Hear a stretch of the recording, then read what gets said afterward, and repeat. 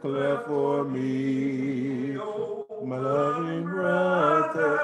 When the world's on fire, don't you want God's bosom to be your pillow? Hide me over in the rock of ages, rock of ages, clear for me.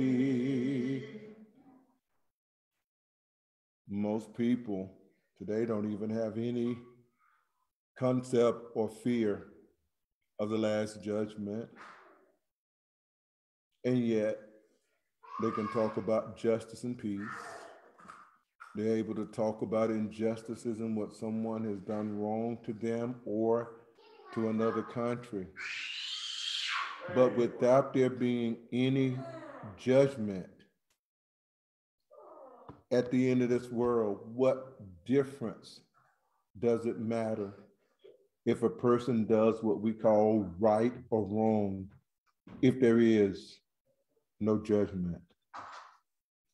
Well, the way that when we look in the scriptures, people talk now, it's as if there is no judgment at all.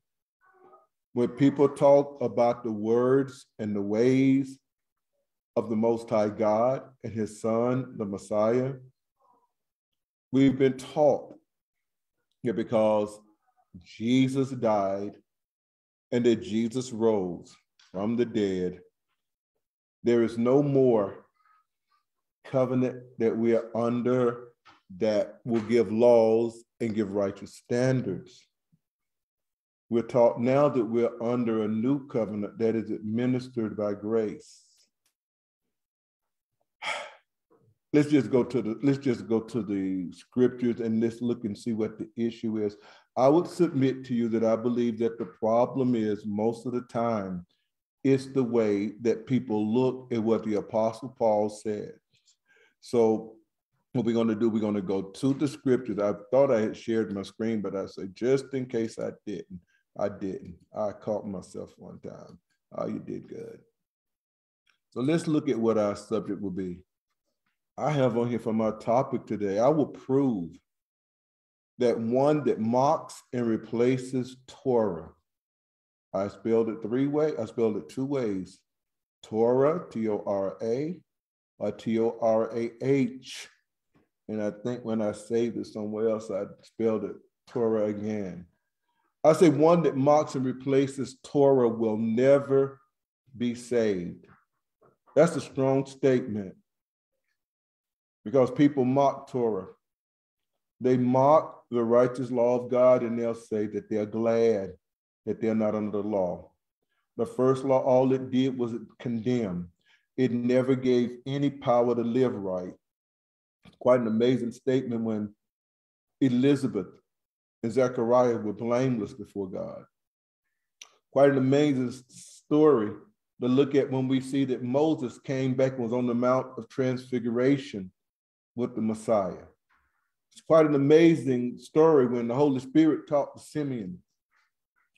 Quite an amazing story that there were people in Hebrews chapter 12 that when it talks about we have come to the heavenly Mount Zion, to the spirit of just men made perfect.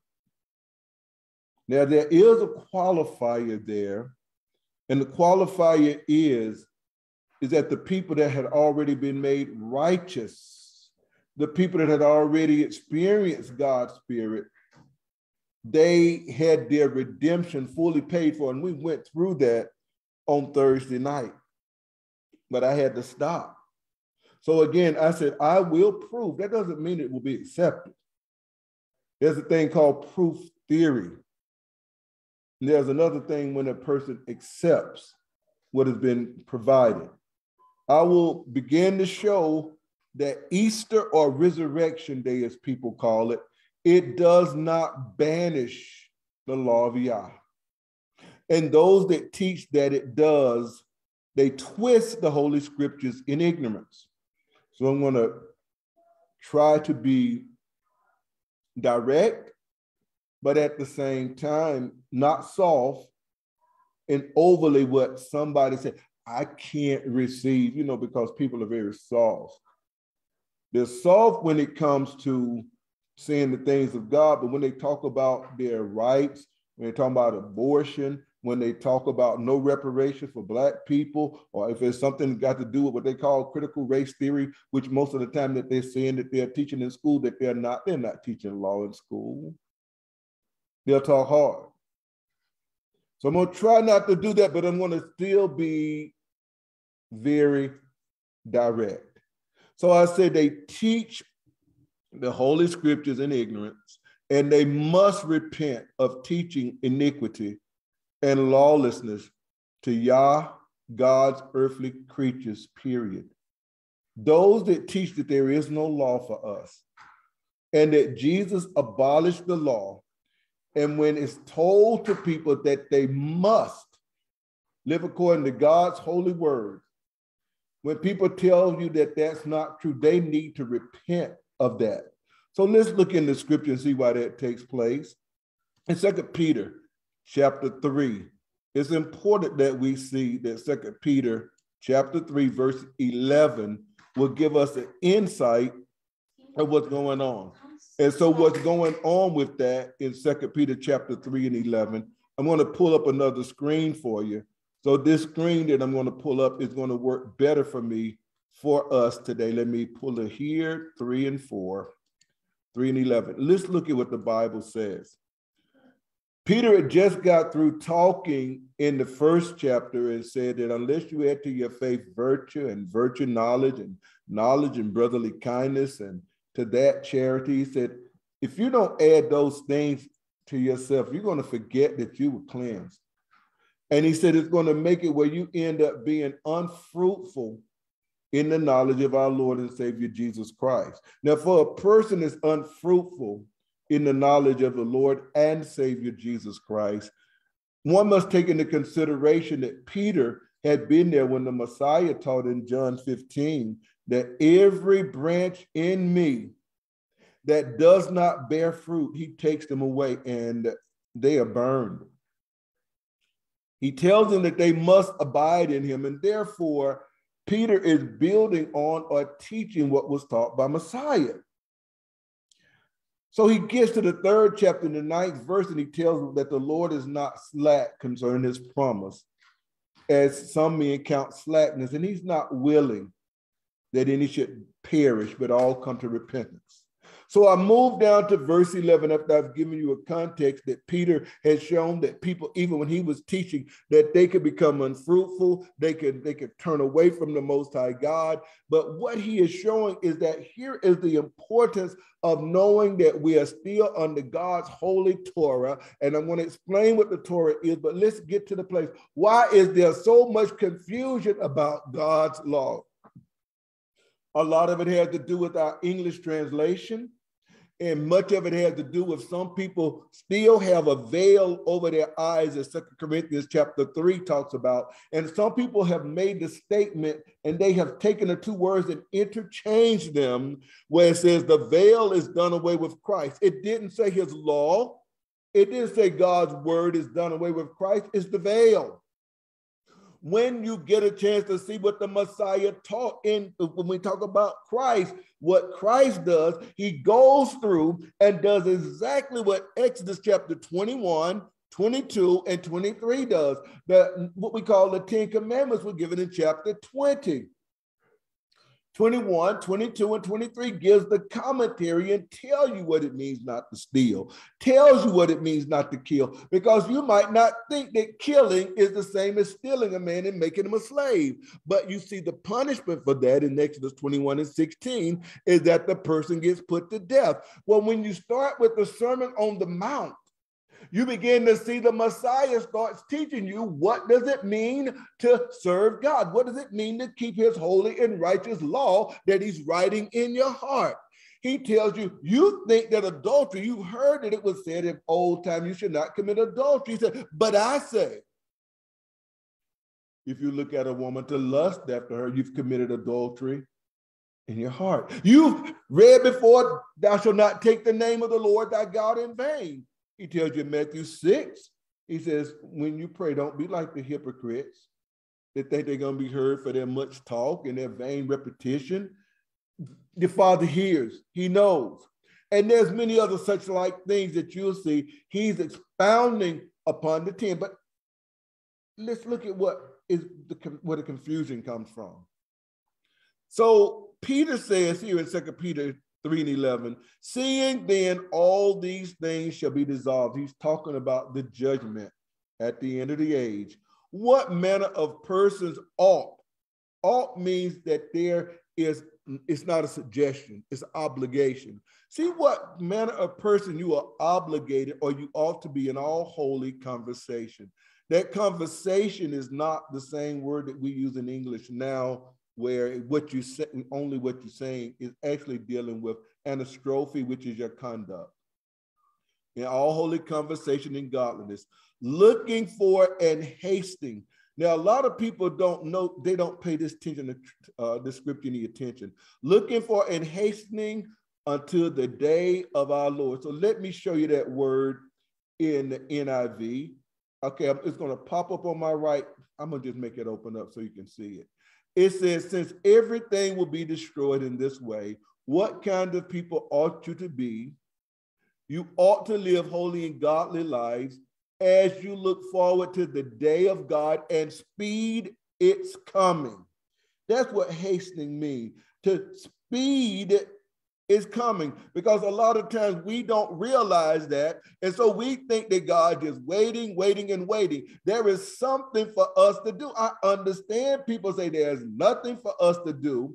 In, in BDAG definitions, in that book, it tells you the word is to hurry, to hasten, and it's to be zealous, to exert oneself to be industrious. Okay. There's on, there's one other one that I want you to see. Um, the Hazen Christian Standard Bible says it opened up.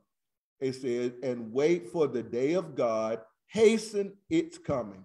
That's all I want to say on it because I've mentioned this before. So let's go back to where I was reading. Looking for and speeding up a hastening to the day of the coming of the Lord, wherein the heavens being on fire shall be dissolved and the elements shall melt with fervent heat. Nevertheless, we, according to his promise, look for new heavens and a new earth wherein dwelleth righteousness. Wherefore, beloved, seeing that you look for such things, be diligent. Not diligent with what you think or what you feel, but be diligent with whatever it is he's going to show and whatever the Messiah has taught, that you may be found in him in peace. He never says anything that since Jesus died, you're going to be found in him in peace. He tells you to seeing that you look forward to, be diligent. Now, for those that don't know, this says it's a verb aorist active imperative. The only reason I'm giving you this part of speech is that it's a command. It's a command that you be diligent, that you may be found in him in peace, and account the long suffering of the Lord is salvation. Even, here we go, as our beloved brother Paul, according to the wisdom given him, have written unto you, as also in all of his epistles, all of his letters that you read in the scripture, whether it's Titus, whether it's First or Second Corinthians, Romans, Galatians, especially those, in all of his epistles, speaking in them of these things in which some things are hard to be understood. That they which are unlearned, I said it, he said it, unlearned and unstable rest. That word rest, striblu, it means twist. Look at twisted deception. They unlearn, they rest as they also do the other scriptures. Not only is he validating and authenticating that Paul wrote scriptures, but he said people twist the scriptures to their own destruction. Now, if you're taught that Jesus fulfilled all of God's law, and there's nothing else you can do, and I heard a man make fun, talking about if there's anything you can do to save yourself, you don't have God and you're a fool. Then Peter, based on what he's saying, is a fool if you're going to be consistent. Now, please understand the reason for this sometimes is our English, and the reason for this also is that many times we might use a Dake's Bible We might use an ESV Bible commentary, not commentary, but study Bible. We may use different kind of study Bibles or Scofield study Bible. I own all of those. I own a lot of them. But then the thing is, is what does the scripture say? It says, he speaks in them things that are hard. Look, the word here, let me, I hope I got my volume on because if I don't have my volume on, it would probably mean that other stuff is not, yay, I got it on. I want you to hear the word, okay? Deus noitos, dealing with the mind, okay? Difficult to understand. I, I, when I make it go louder, I really would like for it to be heard. And I'll be looking to see if my wife tells me I can't be heard anymore since I interjected this. Now let's listen to the word again. Deus noitos. Deus noitos. You can look the word up. It says they are hard to be understood, and they which are unlearned, untaught, untaught, and unstable they, they rest, they twist the scriptures. Now, notice verse 17. Now that we see that there's some things that Paul said are difficult to understand, and now that we see, even Peter says back at this time, people twist scriptures, and that what they're doing, they're going to be teaching the wrong thing. So Peter says in verse 17, Ye therefore, beloved, seeing that you know these things, that Paul says some things that are hard to understand, that some people are unlearned and unstable, they twist those scriptures as they do others to their own destruction. If you're following them and they're teaching something to their own destruction, how is it going to give you anything that will keep you from being destroyed? Verse 17 says, Ye therefore, beloved, seeing that you know these things before, beware, beware. Beware. This is uh, this is what he's telling you. It's another imperative. It's a, com- a command, lest you also be led away with the error of the wicked. Wait a minute. Because you twist Paul's scriptures, or because you don't understand, let's just say you take one of the words untaught and you don't understand the scriptures. He says, Beware lest you also be led away. Look at this Listen, you want to hear the word? I'll let you hear it. Sunapago. Sunapago means to be led astray. And what is it? What is it talking about? Uh, to be led astray, it means to be damned. It means to move away from what the Most High God has for you. It says, "Fall is a led away with error from the wicked, and fall from your own steadfastness."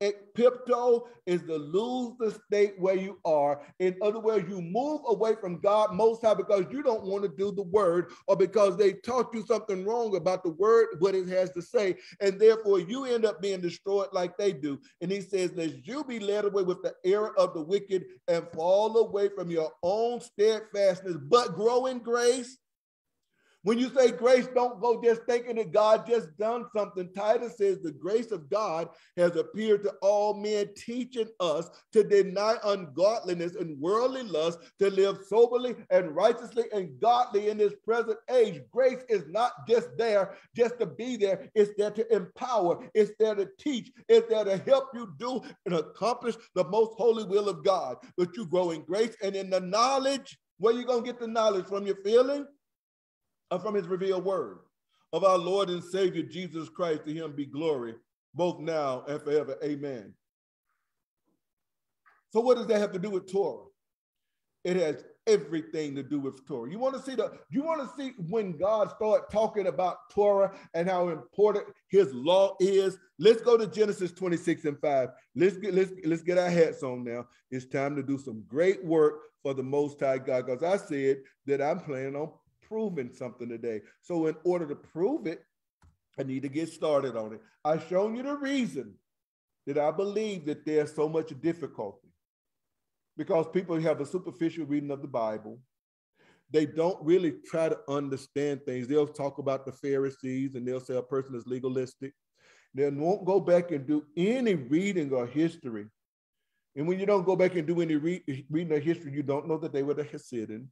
You don't know that there were groups called Pharisees, Essenes, Zealots, etc. You won't know that. And you all begin at once to start thinking the Pharisees were the representative or the representation of everybody that did not love God. You forget the scripture where Jesus gave in Matthew 23 that these people had their own set of traditions and law. And he said they would encompass the whole world and make one proselyte and then after they do, they make them a twofold child of hell as they are. They forget that they say that they sit in Moses' seat and all that they bid unto you do, but don't do as they do, for they say and do not. You forget that in Matthew chapter 15, he shows you that they have their tradition that they elevate above the word of God. So you start, one start thinking that they didn't know what God's word say. And so what you're doing is you're comparing God's righteous law to what the Pharisees taught and what they were teaching with their traditions.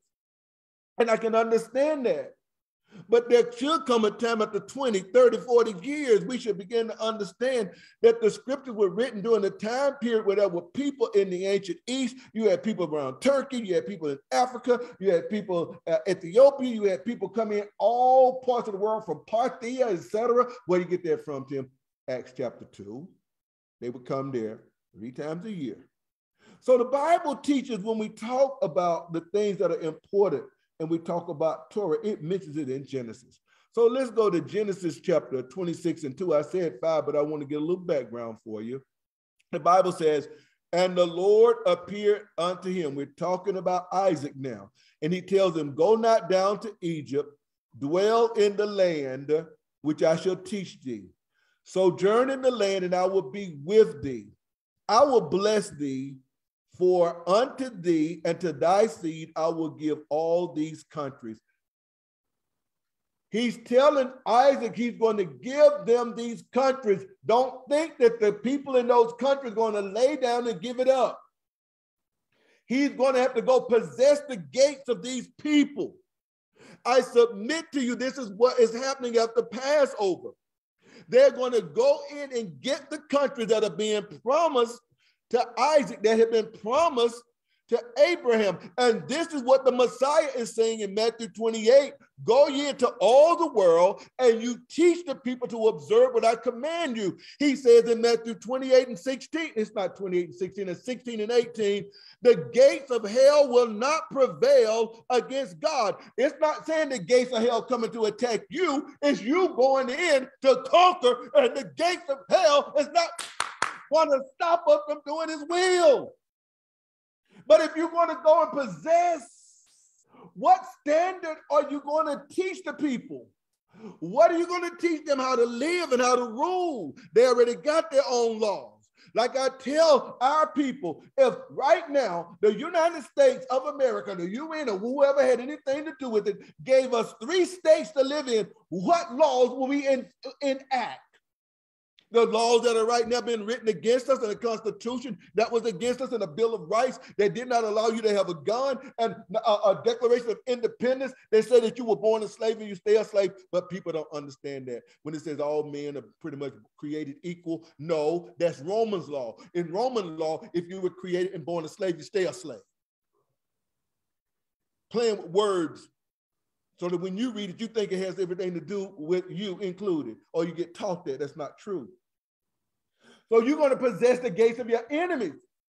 You're going to go and get the countries. This is what past, this is why Passover, Easter, Resurrection Day, I don't teach it like that because you you'll think that the resurrection was it, and you don't even consider that he had to ascend to heaven to get the authority as man. He already had his God. He's taken Adam's place, and then by him getting the kingdom and dominion given to him in Daniel uh, 7 and 13, in Daniel 7 and 18, he gives it to his people. And you see that in Matthew 28 go ye into all the world and do what it says.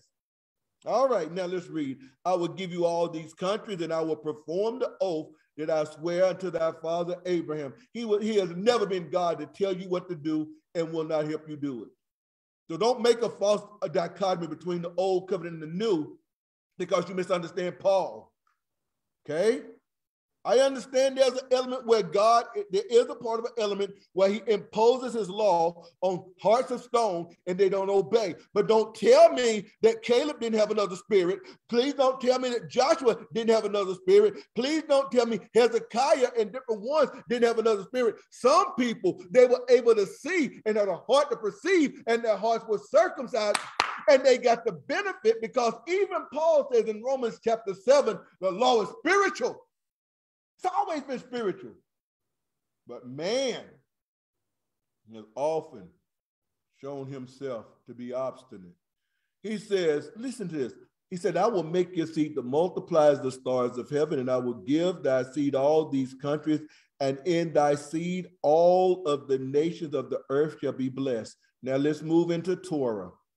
Let's go about proving that Torah is still here and that anyone that mocks Torah, they're teaching wickedly, they're teaching lawlessness, and they need to repent. I said today, if a person mocks and disdains Torah, they'll never be saved. So let's look at it. So he said, I'm going to do all this for you, Isaac, because Abraham obeyed my voice and kept my charge and kept my commandments and my laws. Let's start looking at what did Abraham. I'm going to go to the last word and say he kept my laws, okay? When I he said this law, this is what is called the Lexham Theological Word Book. It's just one of my dictionaries.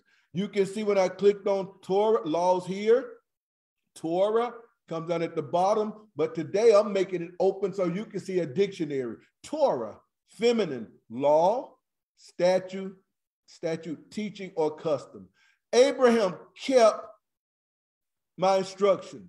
Let me come slide down. The whole Mosaic legislation is summed up as rules. Hawk, we'll talk about that. Regulations of Mishpat. In Deuteronomy, Torah begins to take precedence over the term. Okay? It's not something that's just made up.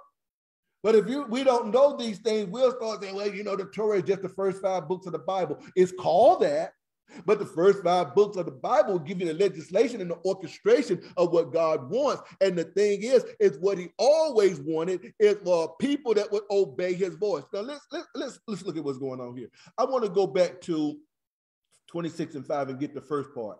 Abraham obeyed my voice. That's the most important thing that you can see. I'm going to submit to you that Torah is the voice of the Lord. I'm going to submit to you that if you look up the word Torah, you're going to see call, what we would call Q O L. Look at your context, look at the content, and you'll begin to see wait a minute. God has always had instructions. His instructions, his rules, his regulations to govern the world and to govern the people and to govern your home is called Torah. Now, I understand this is technical, but by things not being technical, when Paul gives things, people that are unlearned and unstable, they twist the scripture to their own destruction. So let's let's open it up because Abraham obeyed my voice and kept my charge. The word charge here is mismeret. Those that are looking with me, it's M-I-S-M-E-R-E-T. I want you to see what this word means. It's a duty, it's a guard. Notice the word mismeret often refers to God's commandments that must be kept. In Genesis 26 and 5, God reviews Abraham's life by saying that he listened to my voice and kept my charge. Mismeret, my commandments, my statutes, and my laws. If you never understand that he is talking about his voice, when he gets to the point where he said he kept my commandments, which is miswa, commandments, stipulations, teachings. This is what Abraham, he kept my commandments and teachings. It wasn't written down. He heard it and he obeyed. He kept my commandments, my statutes. When he talks about his statutes, this is what we call hak. It's the word here is the Hebrew. I don't like the word Jewish because a lot of times Jewish are Talmudic and people don't make the distinction. But it says the Jewish and Aramaic meaning to hollow out, to engrave. In other words, when he says that word, his, his hawk, he kept that things that are engraved that's written down. Let me read it, make it a little clearer. It says the verb haka or hakuk, H A Q, A Q. Sometimes it's just H A Q A. It says the, in the Old Testament, in the verb, it can be assigned to three things or three semantic groups to carve out or to engrave. It's important that we see that this is what is being done. I slid down for the sake of time to the concrete meaning of the abstraction of the word. Hookah, they appear in terms for ordinances, legal precepts, and in few cases, however, there appears to be more of a concrete meaning. What we're looking at, and I understand that it may seem like I'm being technical, but I must be. Thank you. God has regulations. When you say he has no more law, you say he has no more regulations. You say at this juncture we can do things the way that we want to, and then by doing and doing those kind of things, will always be outside of God's will. So he obeyed my voice. That's primary. He kept my charge, he kept my statutes, and he kept my Torah. And I just read to you a little earlier that that is pretty much set up is the teachings of God. Now, let me show you in Deuteronomy 44 where it says this is pretty much how they start using or labeling all together, hearing God's voice, the commandments. Deuteronomy chapter 4, 44. Did I say Deuteronomy 44? I said something that don't exist. Not in your Bible, Patrick. Not in your Bible, Pastor Gray. Deuteronomy 4 and 44. Listen, this is the Torah which Moses set before the children of Israel. These are the testimonies, the statutes, and the judgments which Moses spake to the children of Israel after they came out of Egypt while there before they go in to conquer the countries and that the gates of hell of those other nations would not prevail and then they would fulfill what else is in chapter 4 the other nations would come and learn about your god through your laws through your justice through your peace. Was i clear? Yes. i love it when you say i'm clear. Now let's look at something really sweet and really delicious. The bible says Abraham obeyed my voice, didn't he? And say he kept my charge. What was the major charge that God gave Abraham? Let's look at Genesis 17 and 1. The Bible says, and when Abram was 90 years old and nine, Yahweh appeared to Abram. We don't, don't just think it's a vision. He appeared to Abram and said, I am the Almighty God. Walk before me and be thou perfect. And this is Genesis 17. He tells Abram, walk before me and be perfect. That's his charge. Abraham obeyed my voice, kept my statutes, he kept my charge. This is the charge. People say you can't be perfect. You can't be a person that's blameless. That's what the word means to be blameless. Abraham did not have a Mosaic law. He had God's voice, though, and his voice is always instruction. His voice is always the law. Let me explain it without reading the Bible. If you believe that God is judge of all of the earth, and he is, what is he going to judge by? Your feeling, my feeling, or is he going to judge by his word, which is his law? Whether he justifies or condemns, we're always under his law. Now I understand there's some things that people have problem with, but let's let's at least look at what is true. And then he says, if you walk before me and be perfect, notice I'm giving you the commandment first, and I will make my covenant. But wait a minute. I'm telling you what to do. And now I'm going to give you my law. I will make my covenant with thee and with thy seed, and saying, I will multiply thee exceedingly, etc we know that he's going to conquer the land. His descendants will conquer the land. How do we work with that? How do we see that in line of that? People say we don't have a law now. Well, we got we got to do better. We can't be like everybody else because if we like everybody else, what good is it that the Most High gives us His instruction? What good is it that He teaches us things? So I want you to look and see why there's so much confusion when it comes to the things of God. Let's go in your Bible to Ephesians chapter 2. I want you to look at verse 12 with me. I want you to see that when God made promise to Abraham, the covenants, the covenants that are made will not nullify the promise. The promise was made, and then he said, I will make my covenant. I, I know what I read. So he says he's talking to people in Ephesus that had believed in witchcraft, they had magical books, and they had powers. He says that at that time you were without Christ, being aliens from the commonwealth of Israel, strangers from the covenants of the promise. I know it say the pro- I say promising, but I'm looking behind the the English, and the word is whole epangelia. You were strangers from the covenants. They came from the promise. The promise was given before it was ever written down and made a covenant. The covenants of the promise is the most high working things out so that we can have this desired end. That was a covenant that God made with Israel when they came out when the Passover. He told them what he was going to do for them. And they did some things that he made covenants to help ensure for them that they know his rules, his regulations, how to live, okay? And it says, having no hope and without God in the world. Now let's go get ready to do some good work. You already do some hard work? I know you are. Let's go to do the one of me, Deuteronomy, Deuteronomy, Deuteronomy. Let's go to, you laughing at me, Naomi. Get it out. Let it out. Let it feel better. Because it felt like, sound like uh, Elmer Fudd to me. Deuteronomy. Go to Deuteronomy 29 and 29, please. The Bible says the secret things belong to Yahweh our God, but those which he revealed belong to us and our children forever and ever. Did the Most High God give his Torah? Did he not give his instruction? Did he not give his instruction on how to worship him, how to deal with him, how to deal with one another? Did that come from man or was it revealed by him?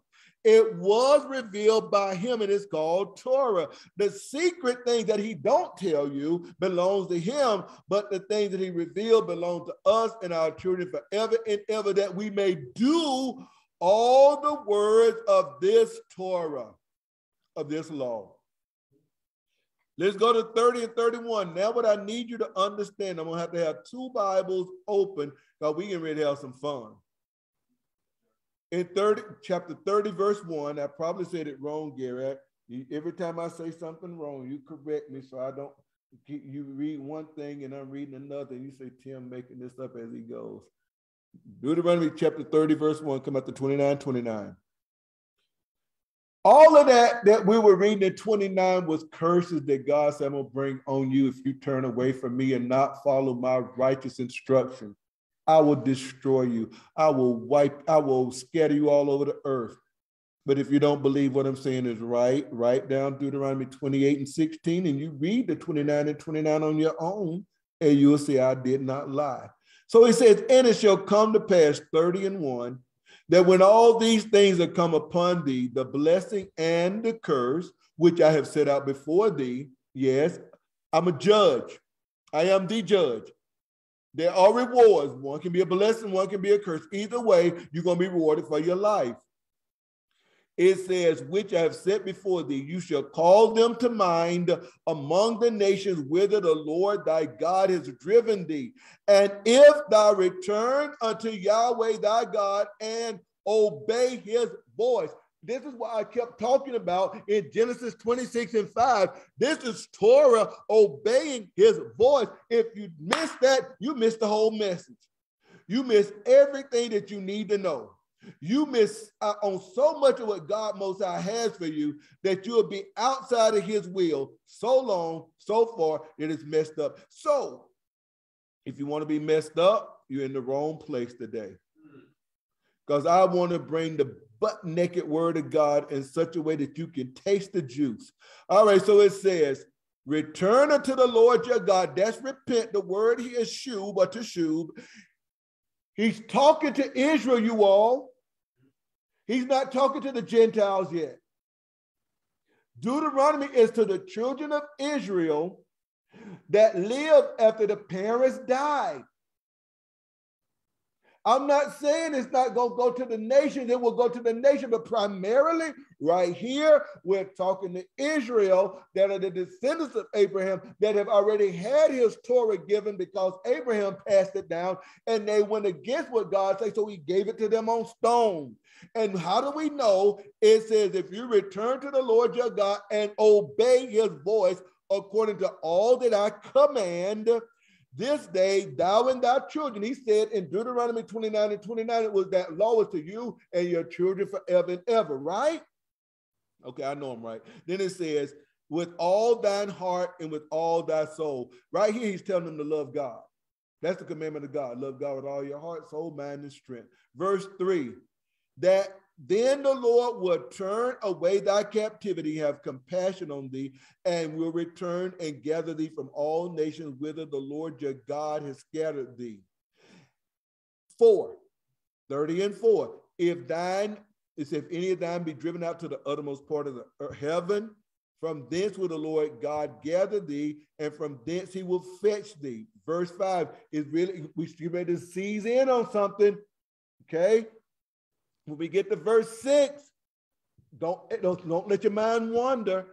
And Yahweh thy God will bring you to the land which thy fathers possess, and you shall possess it, and he will do thee good and multiply thee above thy fathers. Listen, and Yahweh thy God will circumcise thine heart. You had God's law on stone, but your heart wasn't circumcised as a whole nation. Some people's heart were. It says, and the heart of your seed to love God with all thine heart and with all thy soul that you may live. You will keep the Shema. Hear, O Israel, your Lord your God is one. You will love him with all your heart, soul, mind, and strength. But, but to some people, they don't know what that means. They say, since we have Jesus, we saved. We don't need any of that from the Old Testament, which is a God damnable, stinking, putrefied lie. Do you know what something putrefied is? I meant to say petrified, so I'm gonna say putrefied and petrified lie. Is something can something can get so old it becomes like stone. Look at this. Listen to me again. And the Lord your God will circumcise your heart and the heart of your seed to love the Lord your God with all thy heart, with all thy soul, that you mayest live. Loving God, listen to what the Bible say loving God is. Because if we don't understand what loving God is, one of the first things we're going to do is go and think about our feelings. We're going to think about what we think. And when we go thinking about what we think, we're going to be so far outside of God's will that we ain't even going to recognize the word of God. So, what the Bible say loving God is, I don't know why my screen ain't going where I want it to, but I'm going to make it. Give me just a second. All right, so I'm here. I want you to open it First John 5, 3 and 4. I could quote it, but it's important sometimes for people to see what I'm saying. Because when you say you're going to prove something, I don't want nobody to be able to say, Tim said so and so. You can go back and look at it, either find fault with it or find it is right. First John 5 and 4, one of the apostles of the Messiah says, This is the love of God that we keep his commandments. His commandments are not grievous. People say we can't keep it, and Abraham kept it before it was ever written on stone. You're telling me when you say you can't keep his commandments, you can't obey the voice of God. This is what we're saying. Do you believe that? Do you believe that we can't obey the voice of God, but we demand our children to obey our voice? We command people that we pay to obey our voice on the job, and yet we get a chance to hear that kind of folly coming from people and we're comfortable with it. I'm not comfortable with that kind of lie. Listen to John 14 and 15. The Messiah says, If you love me, keep my commandments. Now he said, I'm going to circumcise the heart of you and your children that you'll keep my commandments. I'm going to submit to you and tell you ahead of time that what's being said in Deuteronomy is being said by the Christ, the one that we call Jesus before he came to earth in a human body. And he's the same person there as he is when he comes to earth. I know what I'm talking about and I ain't playing with you. First John 2 and 5 says, Whoso, but whoso keepeth his word, in him verily is the love of God perfected. Hereby we know that we are in him. You say you're in him and you don't keep his word, you are a God damnable liar. I wish I could say it harder. If I could just maybe put 30 pound weights in my mouth and say it that heavy, you are a God damnable liar. Whoso keeps his word in him, not your feeling, is the one that obeys. Listen to the sixth verse. He that say he abideth in him ought himself also to walk even as he walked. He who say he abideth himself is what? All is what is not a suggestion, it's an obligation. You are obligated to walk as he walked. Listen to what he says in John, Gospel of John 15 and 10. If you keep my commandments, you shall abide in my love, my protection, my fellowship, even as I have kept my Father's commandment and abide in his love. We're telling people you don't have to do anything. We're telling you always in Jesus. This is not what this scripture says. If that's conditional. It's conditional in every way. Listen to what it says in John 14 and 21. Because he said he's going to circumcise your heart that you would love God. Didn't he say that? Didn't he say it? So, what did the Messiah say when he's explaining what's going on in the world concerning his Father and himself? He that has my commandments, he that has my voice, he that has my Torah, he that has my commandments, my statutes, my ordinances, he that has my commandments and keepeth them, he it is that loveth me, and he that loveth me shall be loved of my Father, and I will love him and will manifest myself unto him. I'm not going to read 24. 24 say, if you don't, if you don't love me, you won't keep my commandments. Take it to Revelation. Take it at the end of the Bible. The Bible says in Revelation 22 and 14, blessed are they that do his commandments. They're telling you that that's legalism. This is John in the Spirit on the Lord's day, speaking in words that can be understood. So don't go saying there was no interpreter. You're telling a God damnable lie. He says, Blessed are they which do his commandments, that they may have right to the tree of life, and that they may enter into the gates of the city. For outside of dogs, you want to let somebody tell you you don't want to keep his commandments? Listen to that dog that don't bark. That's what Isaiah called them sorcerers. What do you mean sorcerers? You got another way to obey. You got a way that you're going to go to God without obeying his Torah, without obeying his law. Then you are a witch. You are a warlock. What did the Bible say? 15th chapter, 1 Samuel 23. Rebellion is as the sin of witchcraft. They teach you to rebel against God's law. That is witchcraft. And it says iniquity and idol- iniquity as and stubbornness is as idolatry. So iniquity, lawlessness and stubbornness, I'm not going to obey God, is the same as idolatry. So he says, For without a dogs and sorcerers and whoremongers and murderers and idolaters, and whoso loveth and maketh a lie. I'm couldn't make the Deuteronomy. I needed to bring that out because now we, we're rolling and I can go back and refer to it.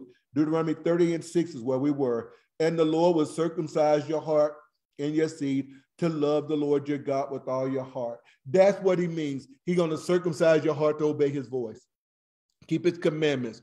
That's why when you say all things work together for good to them that love God, it's not just a thought, it's those that keep his commandments. The Bible is consistent. And to them who are the called according to his purpose, for whom he did know, he also did predestinate that they should be conformed to the image of his son. Now, I want you to I want you to taste this. This is so good.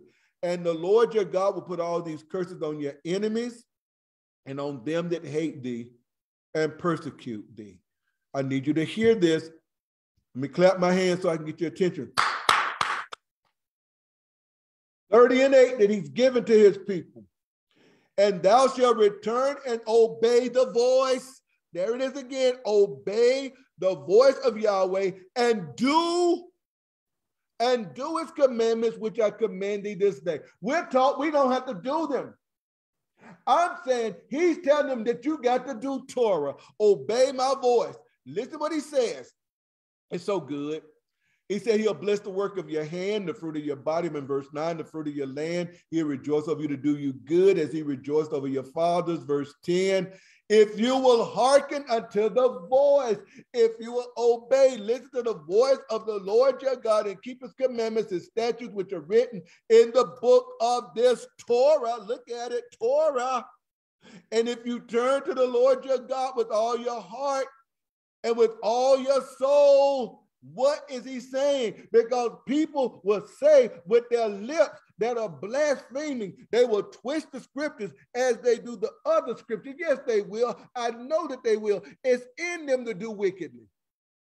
It's in them to go outside of God's will. So now I need you to go to Romans chapter 10. I want you to see how this works for us.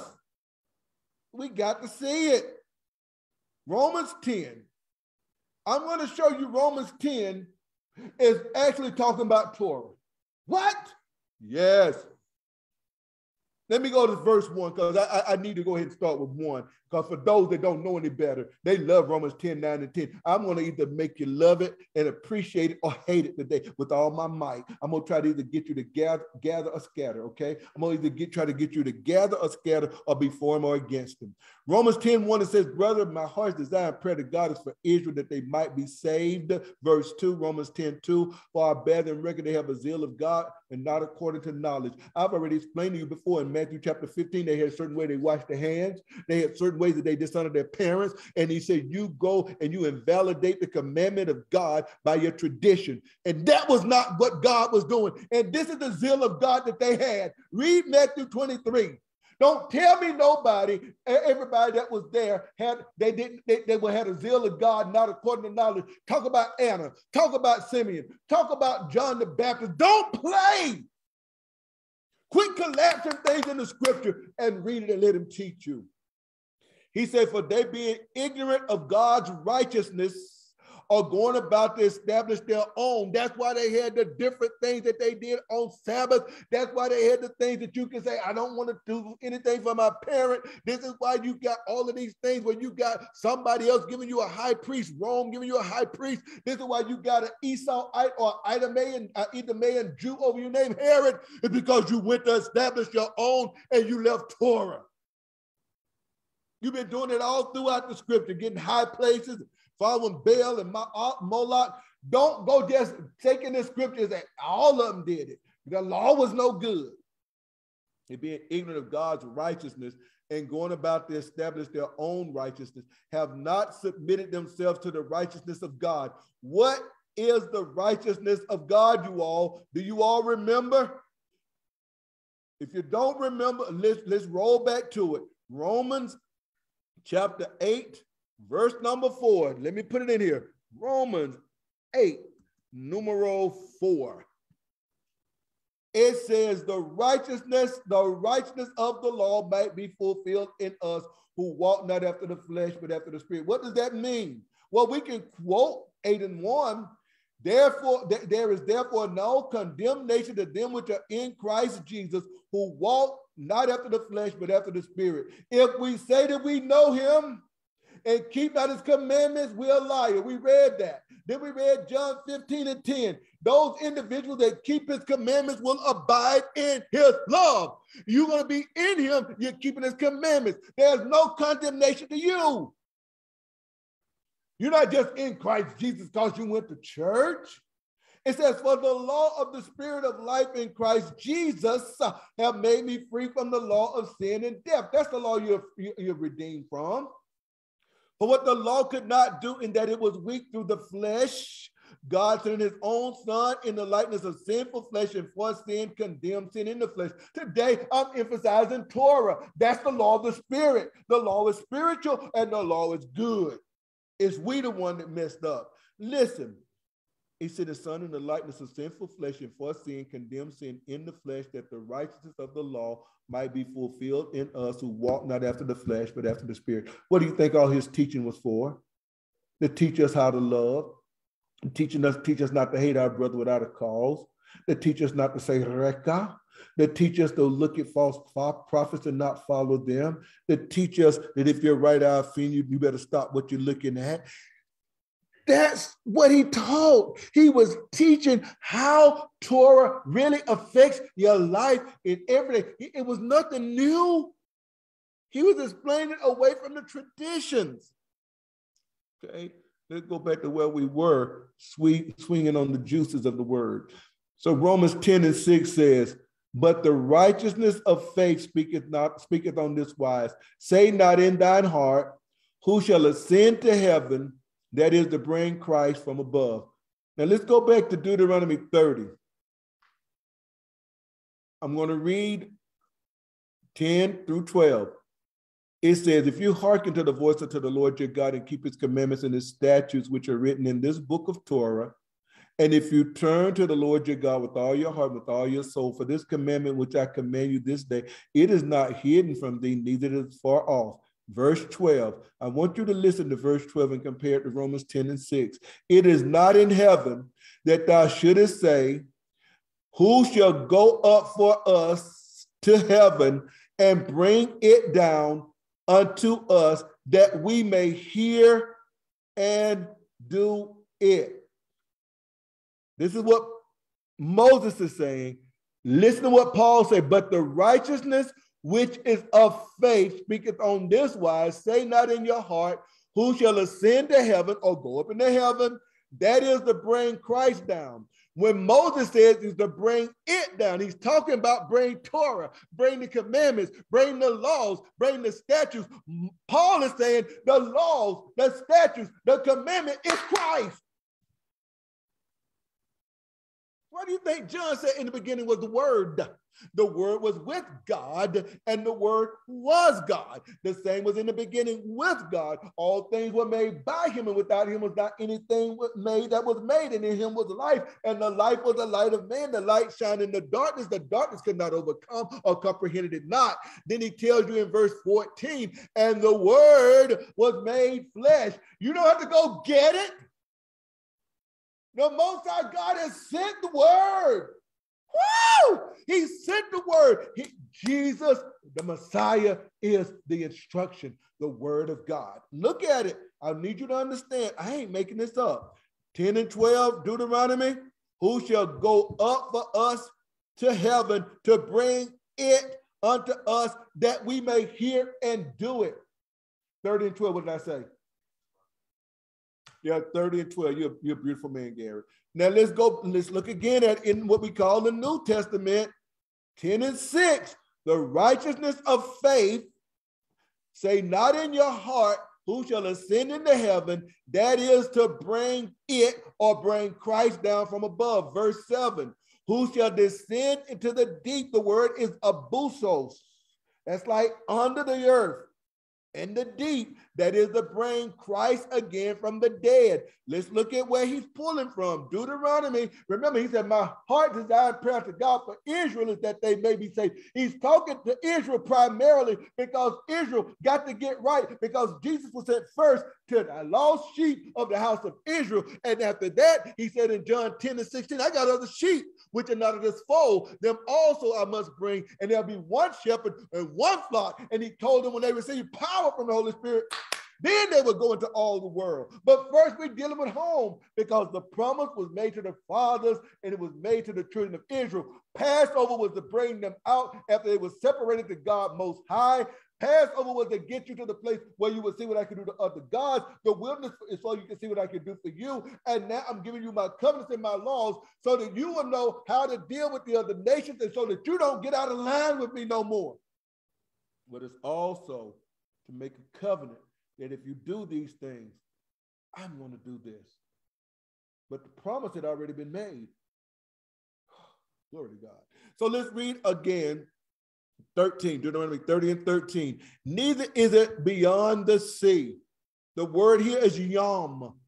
They believed that the sea, under the sea, was where the sea monsters and the behemoth, not the behemoth, uh, what's the other one? The, the, the, dragon, and there's another one, I think Rahab. But anyway, in the, the sea, the abusos is where under the earth, you got three parts in the world. You have heaven, you have earth, and under the earth. Okay. Neither, neither is it beyond the sea that you should say, Who should go over the sea for us to bring it? He was talking about Torah and hearing his voice, that we may hear and do it. When Paul goes in the, in the verse 7 of Romans 10 and 7, or who shall descend into the deep, the abusos, that is to bring up Christ again from the dead. Don't think that he's talking about this and it don't mean to do it, because I'm going to prove that he means to do it, and not that you say a prayer after somebody did a sermon and you don't know nothing about him, you don't know anything about the word, you don't even know you need to obey him. You just say, okay, I'm going to take him as some insurance.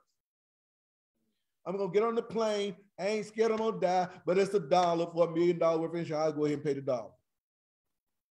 Then it says, verse 14, Deuteronomy 30 and 14.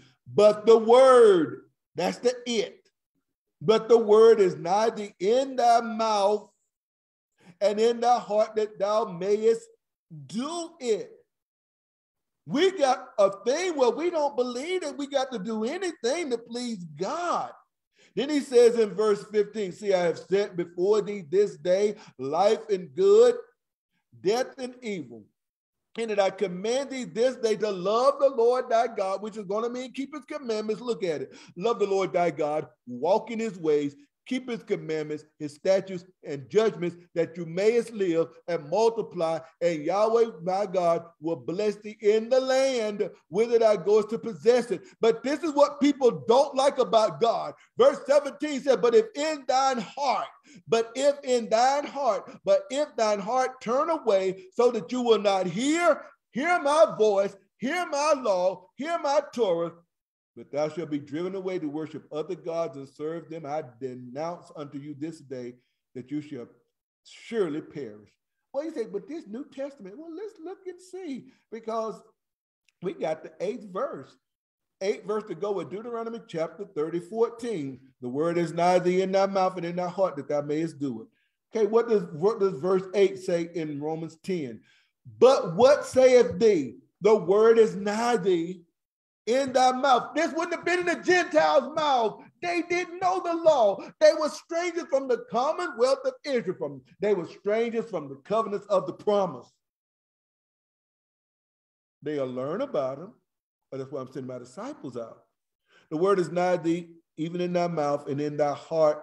That is the word of faith which we preach. I submit to you that the word of faith is the word that you're to obey. Somebody say it, don't say obey. Does not the Bible teach that I'll just let me read, which we preach, because I'm telling you something. When we preach, we're talking. If thou confess with thy mouth the Lord Jesus, I need you to understand what that is the Lord Jesus and believe in your heart God has raised him from the dead. In other words, brought, brought the word from the dead, you shall be saved. So we're going to have to learn words, but we don't have to make a career out of it. What is Lord in the scriptures? So I need you to say I'm in what is called the Lexham Theological Word Book. The word Lord, let me go back here and show what the word is in Greek. The word is kurios, K U R I O S, kurios, or the manuscript is kurion. What in the world does that word mean? Because we think the Lord Jesus said, yes, the Lord Jesus. So in reading, I've already highlighted some of the stuff it says. However, the association of the word kurios with the risen and exalted Jesus is an early Christian confession that acknowledges the superiority of Jesus over all things. I would submit to you the reason that this person say Christian is because he's a Christian. So we can skip that and just look and see what does it mean by itself. And so it gives Romans 10 and 9, 14 and 9, etc. It says, and the universal rule over behalf of all. So, Tim, what in the world is that? So, I want you to see when I go back to where it says um, Jesus, I'm going to go to another panel. Give me a second pull it up. And I'm going to go to a Greek Bible. When I go to this Greek Bible, we're going to be able to pull some juice. I'm going to show you that kurios means Yahweh. That's what I mean. That's, that's all I'm getting ready to show you. I'm going to show you that the word kurios is the Greek word in many cases, and especially this one, where it says Yahweh. So here I have kurios, okay? Kurios. You can't see it, so it'll just say uh, hostoma Jesus kai pistio, and it's those words as that's the Lord Jesus. Uh, I wish I had it where everybody could see, but since I don't have it where everybody can see, I have to tell it to you. And let me click on the right thing and we move from there. Okay, now what I'm going to do is go over here and take the American Standard version of 1901. The reason I'm picking this one, you all, is because that's the one that would translate and that I have an interlinear to that will show you how that word for um, kurios was used. So I'm gonna go to Psalm, you can go there in your Bible, Psalm 27, verse number one. It says here in the American Standard that, that this is the version really how the Jehovah's Witness got their start. Not that the version was wrong, but it used the J of Martin Luther instead of saying Yahweh. So it says, Jehovah is my light and my salvation. Whom shall I fear? When I click on this, what it should do, it should take me from this version and bring me over here to the Greek version and it says Psalm 27 and 1. This is called for those that's like, Tim, how you doing this? This is a Lexham English Septuagint version. Why am I doing this? It's because when the Hebrew people no longer knew how to write in Hebrew, some of them that did, they translated the scripture into Greek. It says, the Lord, if you're looking on my panel with me, those that are watching, it'll say, the Lord is my light. It says, Kurios mu. And when it says Kurios mu, that means the Lord my Lord. So kurios is the same thing as Yahweh when it says the Lord. How do you know that? Because you got the word here, Jehovah. And so when you begin to see that, you begin to understand that. The same thing, let me go back to, because I'm seeing that from looking at the audience as I go through these words, it's taking us away from the scripture. The word Yeshua, the, word salvation, when it says the Lord Jesus, it actually means salvation. Let me go back to that and see if I can just pull that up quickly and move on to, move on to the juice. Well, that is part of the juice because not only did I have a lot of that listed, I'm seeing that when I when I'm reading it and enjoying it, it might be a little different whenever I go out and teach it. So it says Jesus. When it says just, I want you to look at this. Those that see, I want you to see the places where when it said believe in the Lord Jesus, these are words here that say Jesus or Yeshua. Exodus 14 and 13. And Moses said unto the people, Stand still and see the salvation. That's the Yeshua of the Lord. Tim, I don't believe it, but I'm going to show it to you. Deuteronomy 32 and 15. Look at it. I'm going to show you on the screen. But Yeshurun and Jeshurun waxed fat and kick. Thou art waxed fat and grown thick. Thou art covered. Then he forsook God, which made him, and esteemed the rock of his salvation. If you're looking on my page, the word is Yeshua.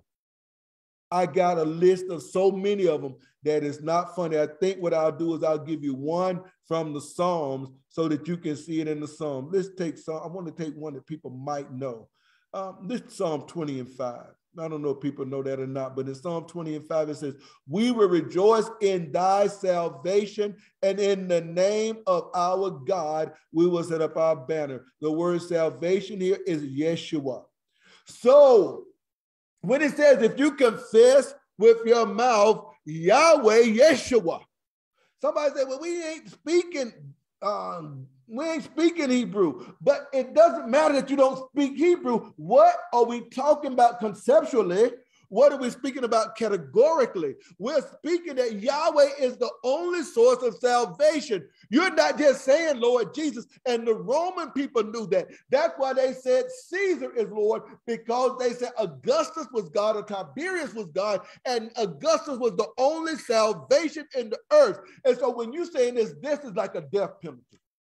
So if you confess what you got in Deuteronomy, if you confess that Yahweh is your only salvation and believe you're in your heart God is raised him from the dead, do you will be sozo saved. That's the same thing. It'll say Yesha. But with the heart, Man believeth unto righteousness. That's the word of faith. Hear my voice with the heart, not of stone. Man believes what Yahweh says in his law, in his Torah, in his instruction that he give us the land. He us to give you the land, give you the ability to rule. He believes unto salvation. Look, he said, confession is made to Yeshua or salvation. You believe to righteousness, which is the righteousness of his Torah. You don't have any righteousness of your own.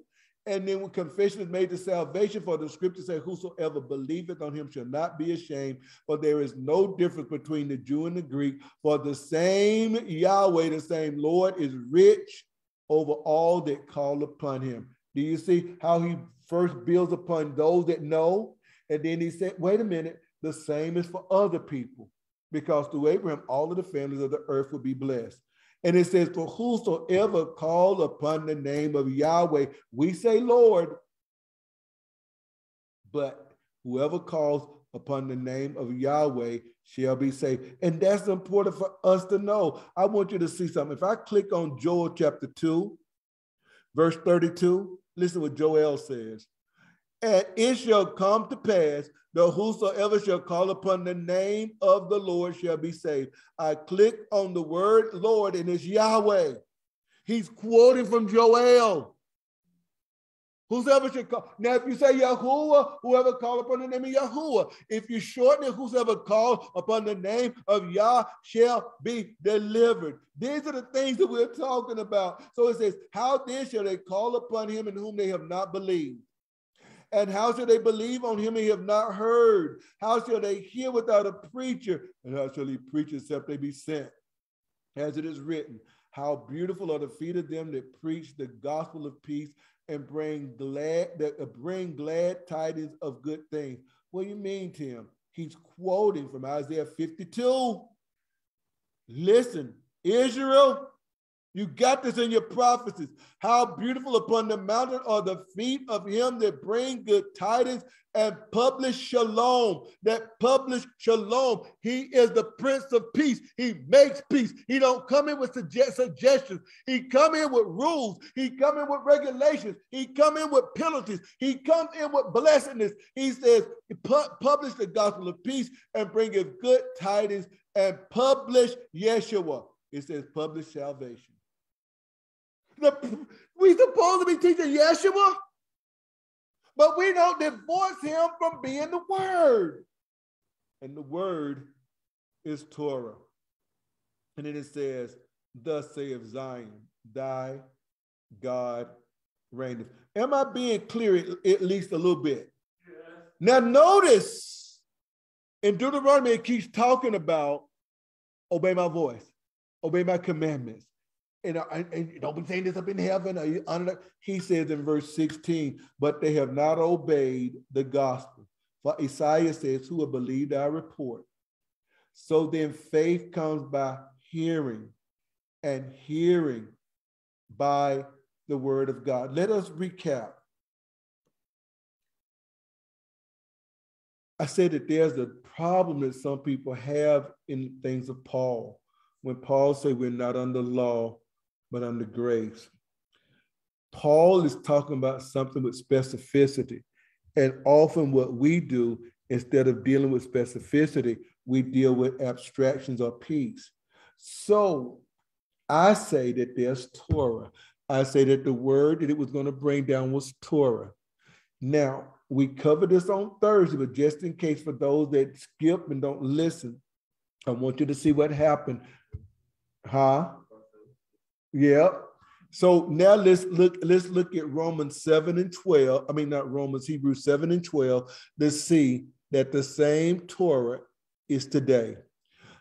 In Hebrews 7 and 12, it says the priesthood being changed. Aaron's priesthood is changed because of the fact Aaron's priesthood was never to be forever.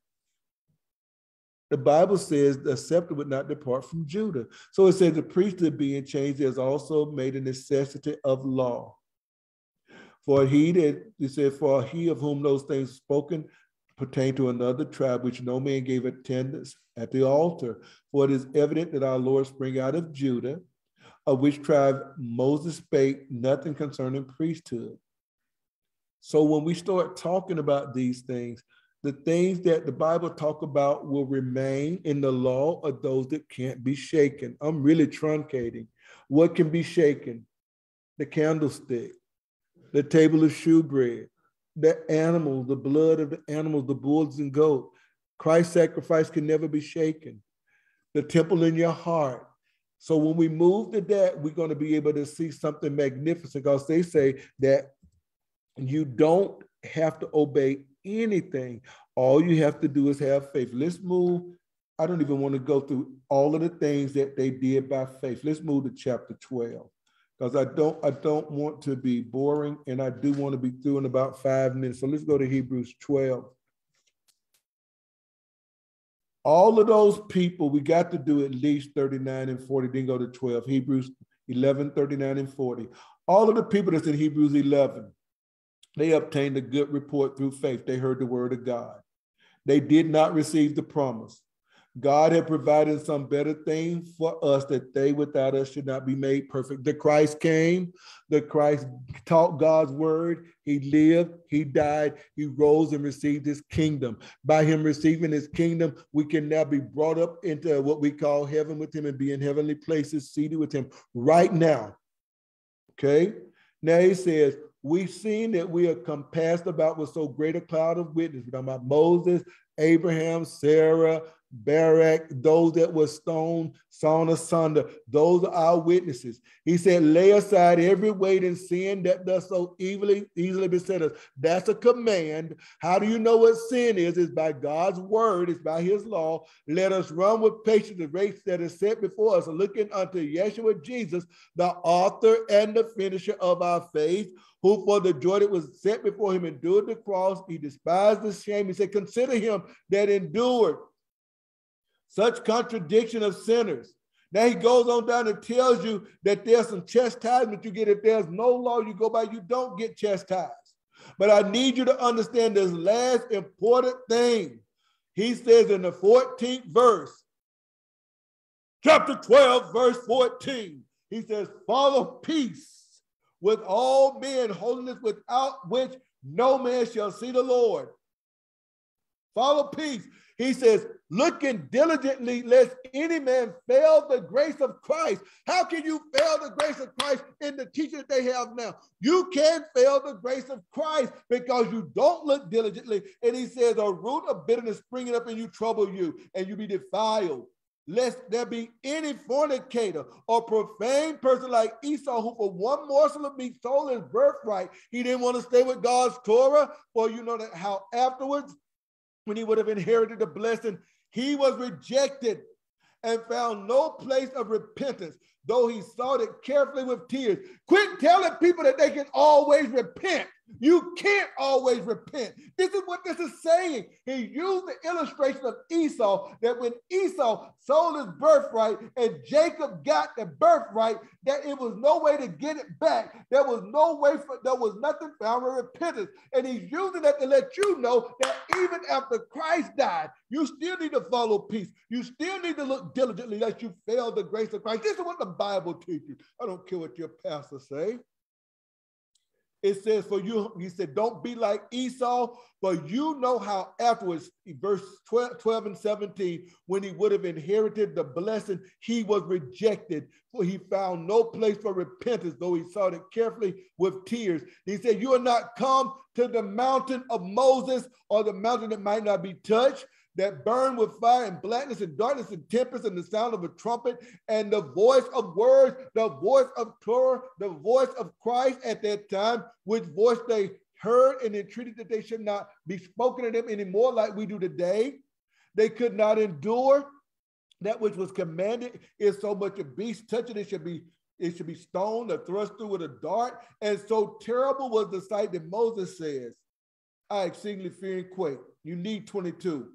But you will come to Mount Zion, the city of the living God, the heavenly Jerusalem, to an innumerable company of angels, to the general assembly of the first, a general assembly of, and church of the firstborn, which are written in heaven, and to the judge of all men and the spirits of just men made perfect. There are people that were already made perfect. and the Jesus mediator of the new covenant. And to the blood of sprinkling that sprinkles better things than that of Abel. I wanted to say this before I end. See that you refuse not him that speaketh. All of that, some people say sometimes, everything Jesus said in the Sermon of the Mount don't matter after he died. Nothing matters but that he says, See that you refuse not him that speaketh. For if they escape not who refuse him that spake on earth, Moses, much more shall we not escape if we turn away from him that speaketh from heaven. He validated Torah. He is Torah. He is the voice of God. Yeah, what Hebrews 1 and 1 says. But it says, whose voice then shook the earth. But now he promised, yet more. I shake not the earth only, but also heaven. Yet once more signifying the removing of those things that are shaken and the things that are made. That first tabernacle was made by hand. All the furnishings were made by hand. Those are gone. That the things that remain, the things which cannot shaken, be shaken remain. Those are the word of God. Wherefore, we receiving a kingdom that cannot be moved. Let us have grace that we may serve God acceptably. Let grace help us serve Him acceptably with reverence and godly fear. Listen to this warning our God is a consuming fire. We went through you all in summation. Torah is instructions, the regulation, and the commandment of God. Sometimes it is reduced to just being the first five books of the Bible. But when you read throughout the scripture, when you see law, look it up. Get your Strong's Concordance or whatever you do, unless you speak Hebrew. You'll see it's Torah. You will see that it says that they they wanted to bring, they would want to bring it, and Paul said it's Christ from the deep, or bring it down, which is the Christ or the Torah from heaven. We began to understand that He write our, His laws on our heart and in our mind. The stony heart we see in I think it's 36 and 26 in the book of Ezekiel. He removes the stone and he writes on our heart of flesh these regulations with the explanation. And you say, well, Tim, if you say we got to do this, we don't need Christ. No, Christ is the one that's giving it to you. Christ is the one that's given the Spirit to empower you. People did it before he came, lived, and died and rose. How much more are we obligated to go out into the world and possess the kingdoms of this world so the kingdoms of our Lord can become the kingdom of our Lord and our Christ. And he reigns forever and ever. We waiting on him to crack the sky and do it, but we can hasten his day by doing it us doing what we can do ourselves through his spirit. God has a law. He has a Torah. But those that are unstable, and unlearned. They think that he, we got a kingdom there with no laws, no rules, and yet God is still judge of all the earth. As a matter of fact, the Son says, the Father judged no man. He committed all judgment to me. Torah is important, you all. The voice of God, the word of God. If we're ever going to spread his kingdom, if we're ever going to be able to rule ourselves, and should God ever give us the ability to rule this land, we got to have instructions. And it's not going to be without the Spirit.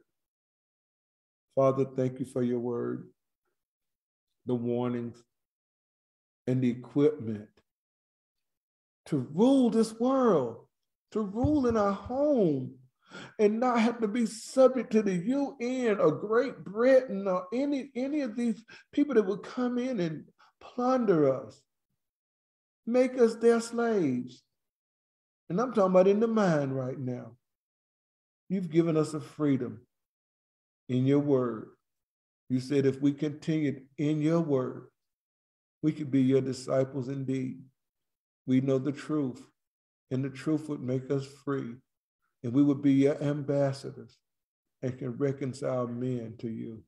Help us to realize the importance of not neglecting your word. Amen, amen, and amen. I'll open the class for discussion, rebuttal, comment, if there's any. Let's go into it. Did I make anybody angry today? Probably. Good. You made me strong. Say what, Andrina? I heard Andrina say something. Did I hear you say something, young lady? You? I said you made me strong. I made you strong. Okay. Mm. Uh, and, and? I'm, I'm not even feeling that well, but I feel good. Well, thank the Lord. Tell us about it, please. Well, I was gonna wait till Gary said whatever he had to say. Well, did you hear that, Uncle Gary? She gonna be speaking quick. I said, I didn't really have anything to add. It was very clear. Um, it was very clear, uh, the connection. And it, and it just, it just blows this, this ridiculous thing that the Old Testament has done away with. I mean, anybody, you can tell when people haven't really read the scriptures or read them well. You read and then, you know, to, to understand, I mean, you went to Romans 10 and was talking about the first verse. I bear them record. Mhm. They have a zeal according to knowledge. I mean, there's there's a record. You know, who, who is Israel? I mean, you, you- you're not gonna know who Israel is if you don't understand historically who, who they are. And you, well, you said a lot of, I said I didn't have anything to say, but as I keep talking, it seems that I'm, I'm wrong. Um, you, you phrased it something like, uh, the Passover or such was that he showed them how he conquered the gods, and then he showed them how in the wilderness he was there with them. And then when you go forward, it shows them how I have other sheep of this fold. So, I mean, he, he's always, I think they call it the suzerain, the suzerain treaty. Yes. You talk about the suzerain treaty. It's like I'm over you, and this is the terms of condition, and you better, you better basically abide by them, or I'm, I'm gonna, I'm gonna, you will be put to death. You will be penalized. You, what, whatever it is, suzerain treaty that you don't really get a say so in the matter, but in my mercy and in my letting you continue on and live, this is what I provide for you. And- And it- it's something that's done in ancient cultures and historically. But to see that he's sovereign and God above all gods, it's like there, it's it's a warfare. And most people think that we're that it's supposed to be like, okay, we just say, okay, okay, okay, okay, okay, okay. We acquiesce, but it, it, it's it's been a warfare since the beginning.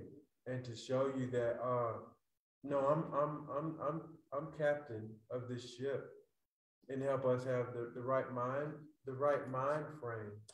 It, it, it, it, is good. And to understand also, I mean, because you, you were for a while, I imagine you'll go back to it, and you're still there, talking about the Trinity, the, the Holy Spirit, the Son, and the Father. It was all in today's lesson, you know, whether you refer to it as such or not, it was there.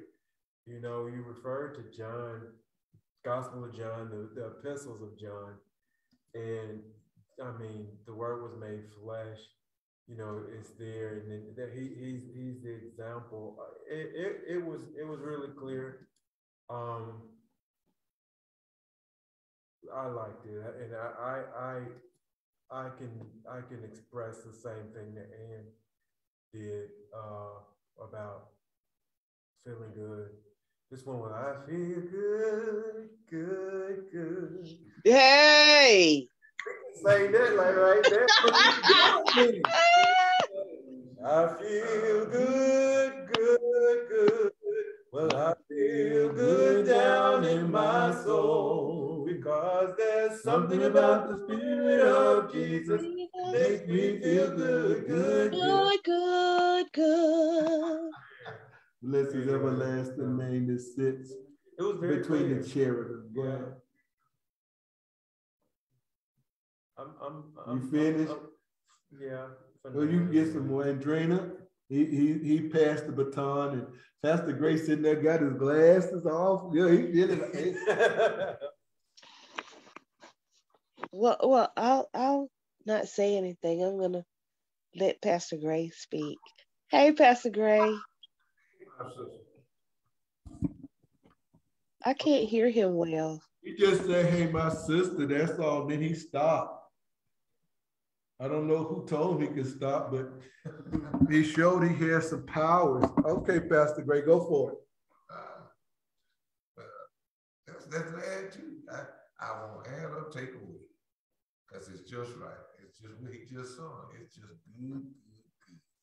But there's emphasis on Titus as well as the other scriptures about the grace of God. Mm-hmm. Yeah, it has a period. And it, and it does teach us something. People don't want to be taught anything. There's various reasons why people don't want to be taught anything because when the, when you have the teaching, if let's go back to John, say people love darkness rather than light because their deeds are evil. Because the deeds are evil. You, you mentioned something about feeling. We we really need to be careful about feelings because it said the carnal man is enmity against God. And so a lot of times we think eyes, hands, smelling, but there is another deeper uh, sense, and that's how we feel. It's intangible, yet it can totally move us into the opposite direction. And so when you look at how what how in the garden was man moved, it's because of his, his heart. And so the heart must be circumcised. and you you did the voice, it shaman the voice, shaman the voice, it was it was totally there. It's all through the scriptures. You'll obey what you hear. And there's some time there, it don't say lay aside everything that you want to. Because if it's only what you want to, then we'll hold on to something else. I will. And so the circumcision, people don't be like, oh, come and circumcise me. When with the one that raped da, da, Dana, Dana, da, yeah, Diana. Whatever, they they was really they was really strategic on how they did it. You know, um, they they needed a rest. And so like circumcision hurts. It's like pruning. But if, if we can understand that it's, it's really about, okay, I'm going to bring you over. It, there was another scripture that you read, and it's like, I can't remember where it was. What it sound like? It's like, I'm, I'm going to, I think it was in the, uh, Genesis, maybe 17. It's like I'm, Walk before me and be perfect when he told no, it's. It's, no, I'm, so I'm just wrong. It's like when you get over there, I'm gonna give you a land. It's part of the promise. Yeah, he told that Isaac. Which was what was that 20? Was that it's in 26, uh, it's probably okay. around 20 when you go before you get to five, and he's telling Isaac, okay. I'm gonna give you the land I promise your dad. And he's like, Well, they're gonna have to fight for it. Yes. That's that's it didn't say you're gonna have to fight for it right away, but you're not gonna take that land right. without fighting. Right. So it's like somebody coming to try to take your house. Garrett, move out. We're coming in. Right. What? What? what? So the circumcision is painful, but it is it's righteous. And if we if he say choose you this day, you gonna now I'm jumping. I'm jumping. I think. Choose you this day. Who you gonna serve with? Yeah. It's, it's Joshua. Go ahead. Yeah. So it's it, there. There is a decision, but it's like you either die, you live. You yeah. die, you live. And so we we, we need to really con- consider what's what's happening. You know, it, just different, just I don't know, just different things and scenarios, historical scenarios are coming through my mind because we're covetous and we want something that being being carnal is all about being covetous, which is probably why it's the, the most important of that. Um, the, we covetous and, and, and we'll want to we'll want to do things. But if we have the mind, of, he give he give us a foresight that there is no reason we should have except that we've been born above or this. So even though I feel like this, I know what he told me. I didn't feel like cleaning up before my mama got home, mm-hmm. and uh, but she told me. She didn't know what to tell you if and you my did. My last whooping was I was thirteen. Because I didn't do what she told. I I must I'll probably go see now to forget it, you know, but she was totally right. And when she drove up in the driveway, that's like this is not gonna be good. Not for me. Not gonna be good. Because she told me. And when she told you said, you know, we tell our children what to do and with our voice, mm-hmm. and we expect them to do it. And we got the the, the, the creator of heaven and earth, mm-hmm. and, and, and we don't have fear. That's what the that's what the prayer teaches. The prayer teaches you that you don't need to have fear. The prayer teaches you to erase the fact that he made heaven and earth. The prayer teaches you that hell, well, hell is there, but I mean, So what? It, the prayer teaches you you don't have to be diligent. The prayer teaches you you don't have to study the Bible. The prayer teaches you that you can go do any and everything like you like you want to. The prayer teaches you that all other doctrines are just as good because if there is no penalty for you, then what's the point? That's what yes. that little prayer teaches you. So we sound stupid, but people want us to sound stupid because now you got to give up something. You made a statement that I want to read, and I need to memorize the rest of this. In Titus 2 and 11, listen to this because people say we under grace. If we were under grace, we would live a different way. Let me show you. For the grace of God that bringeth salvation hath appeared to all men. First, teaching us that denying ungodliness and worldly lust, that we should live, obligation, should is our obligatory word, should live soberly, righteously, and godly in this present age, looking for that blessed hope and the glorious appearing of the great God and our Savior. That's two. The great God and our Savior, Jesus Christ. Listen, who gave himself for us. And they say that we can live like we want to, that we can be under grace and under, not under law. Who gave himself for us that he might redeem us from all iniquity. All iniquity, so that he will never say to us, Depart from me, you that work iniquity, to redeem us from all iniquity and purify to himself a peculiar people, zealous of good works. He's doing that to make us zealous of good work. You tell us there's no work for us to do. There's no work that you originate and that you disseminate and that you articulate but that which he has originated, that which he has articulated, and that which he has disseminated, we're obligated to do it. Teach them to observe all things that I command you. We make him where he has nothing to say. He's he's a worthless king. Yeah, what you got to see somebody that's going to change their gender? Somebody say, Tim, where you get that from? Look up the word. Uh, he said men in soft clothing. That's the word is malakos. A catamite, one that lays down uh, like a woman with a man sexually. I know what I'm talking about. He said John the Baptist wasn't like that. And I'm proud of it. And you better believe we preach the same first sermon. Repent. For the kingdom of heaven is at hand. Now that I got you speaking up, what you got to say, Pastor Gray? I've enjoyed it. If, if we follow the Torah, yes, the law, yes, the command of God, we will have no problem. We will have no problem. But the thing is, Brother Gary said it best. Based it on our feelings. Based on our feelings, and we come up with our own ideology of what uh, the law of God is. Now what get, it ought to be. Yes, sir. And now, got all this foolishness in the world. That's right. Let me show you some Torah that we follow. Somebody say, I don't believe this. I'm going to show you. Okay, okay. Romans 13. They use it to tell you to obey the American law. Yeah. America didn't exist then. Come on. Let's look at what it says. Let every soul, who is he talking to? In the 12th chapter, he tells you to present your body as a living sacrifice. He's talking to Hebrew people that know what sacrifices are, holy and acceptable unto God, which is your reasonable service. Yeah, he did.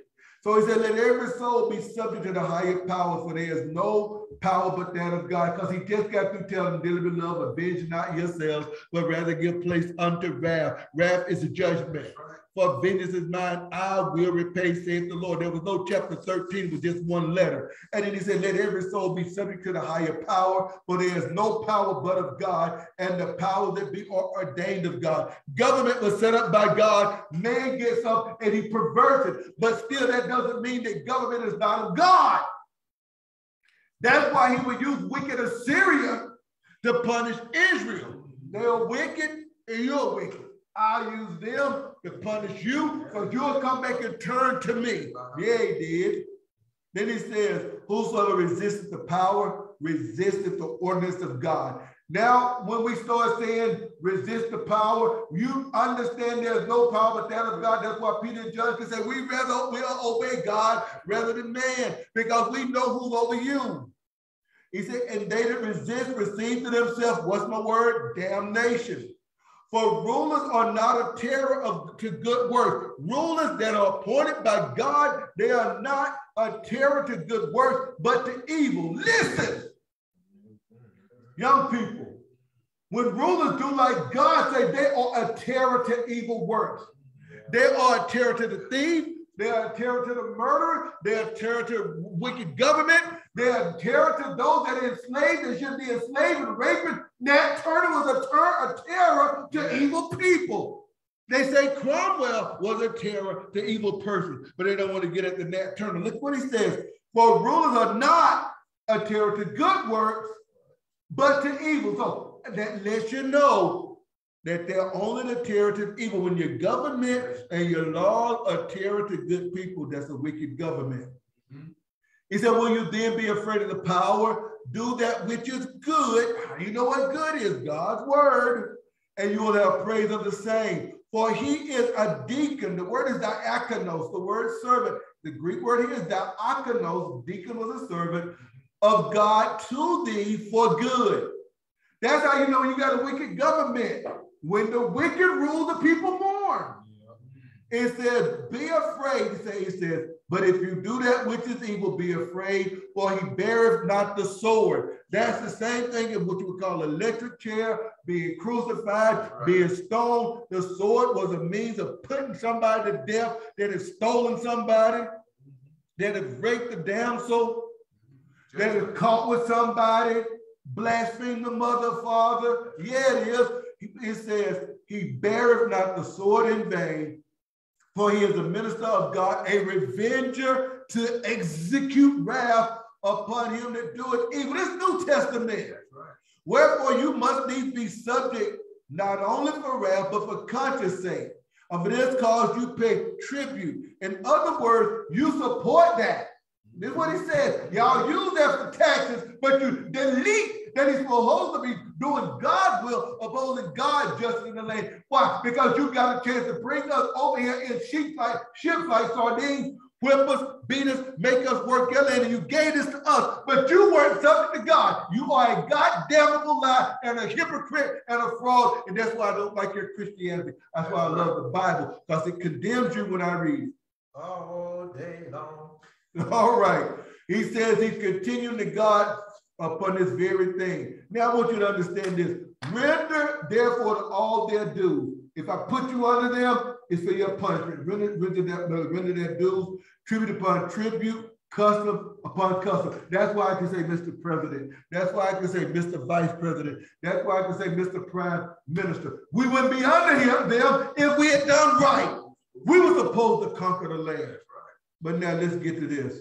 Fear upon fear, honor upon honor. Now let's go to what the Bible says. You say we're not under the law, but we're under grace? Tell why you're teaching this. Let's look at what he says. Oh, no man, nothing. Be obligated to any man for anything, but to love one another. Love, love does not seek its own. It rejoices not in iniquity, but rejoices in the truth. Oh, no man, nothing but to love one another. He that loveth another has fulfilled. Wait a minute, I thought there was no law. He that loveth has fulfilled the law. In other words, you don't let your brother sin and not rebuke him. You hate him in your heart, according to Leviticus. Not only that, you owe people the truth. Look at me. You owe people the truth. I don't care who it is, whether it's me, whether it's you, whether it's your daddy, whether it's your mama, your you owe them the truth. Don't let them walk around thinking they're righteous when they're not. Don't let them walk around thinking you like what they do to you when you don't. Don't let them walk around lying on people and you can stop. You if you love them, owe them the truth. For he that loveth hath fulfilled the law. For this, thou shalt not commit adultery. Well, I, I thought you said we don't have law anymore. He says, For this thou shalt not commit adultery, thou shalt not kill, thou shalt not steal, thou shalt not bear false witness, thou shalt not covet. And if there be any other commandment, it is briefly comprehended in this saying, Thou shalt love thy neighbor as thyself. This is what the Bible says. And you tell me there's no more Torah? This is the heart of Torah. And it says, Love worketh no ill to his neighbor. Therefore, love is the fulfilling of the law. Do you all remember the song? Love. Love will keep us together. Sometimes some of the words of a song uh, uh, can fit in what we're teaching. It's fulfilling. Who it come from. Yeah, that's right. It's the fulfilling of the law you all.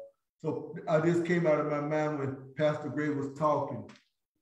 Here it is, what you would call the Ten Commandments. Say, you didn't read all 10. He said any other commandment is fulfilled in this covenant. You think you're going to have another God before him and you don't covet his authority and his position. You think you're going to take his name in vain. You don't think you're coveting his the authority of his name for somebody to believe you because you took his name. You think that you, when you make a golden or whatever kind of image it is, you haven't coveted him, that you want to get some power anyway and his authority to tell you no. So you covet that authority and you make you an idol. You think when he tell you to keep it Sabbath, to keep it holy, you think that what you have done, you don't understand that you have taken his authority to tell you when and how to worship. You don't think that that's covenant.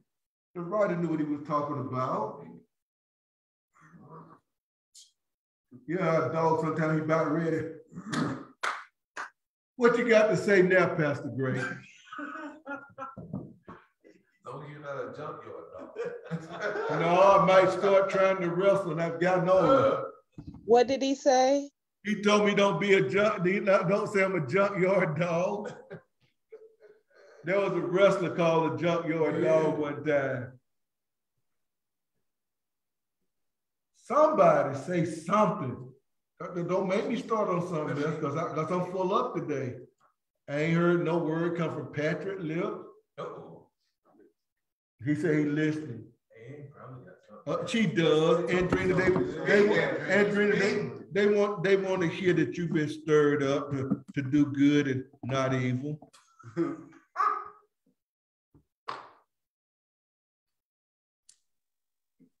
Am I going to play the violin till she get up here? She might have, she might have had to do something. No. It's just I don't get to tell her what to do. Uh, She You might, know, um, the Old Testament tell us to walk circumspect.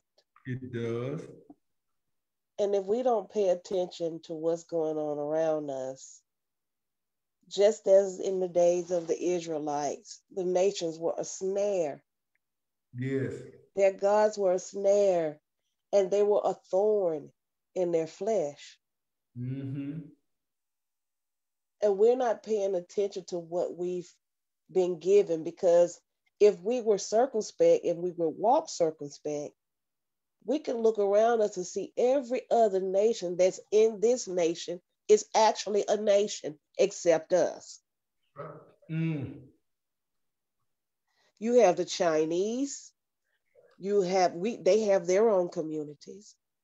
You have the Japanese, you have the Koreans, they have their own sections of town. You have the Mexicans, they have their own sections of town because they have their own nation. You even have the Europeans, and this is not their nation. Mm. but they have another government and they have a whole nother nation that backs them up. Yep. Pay attention. We are not a people. Come on, man. Keep talking. And the reason that we're not a people, because because like every other all the nations that I named before, they actually have a law. They have they actually have statutes and commandments. Right. And they told us that, well, we're going to give you one and we're going to call it the Constitution. We're Mm. going to call it the Bill of Rights. And but when we set it up, it was not for you because guess what? You're not a people. Come on. Tell the truth. Now, what we say, now what you just preaching and says, you are a people. Yes. You're just lost. You have lost your God. You have lost your statutes. You've have you've lost your culture. You've lost everything, and you're not a people.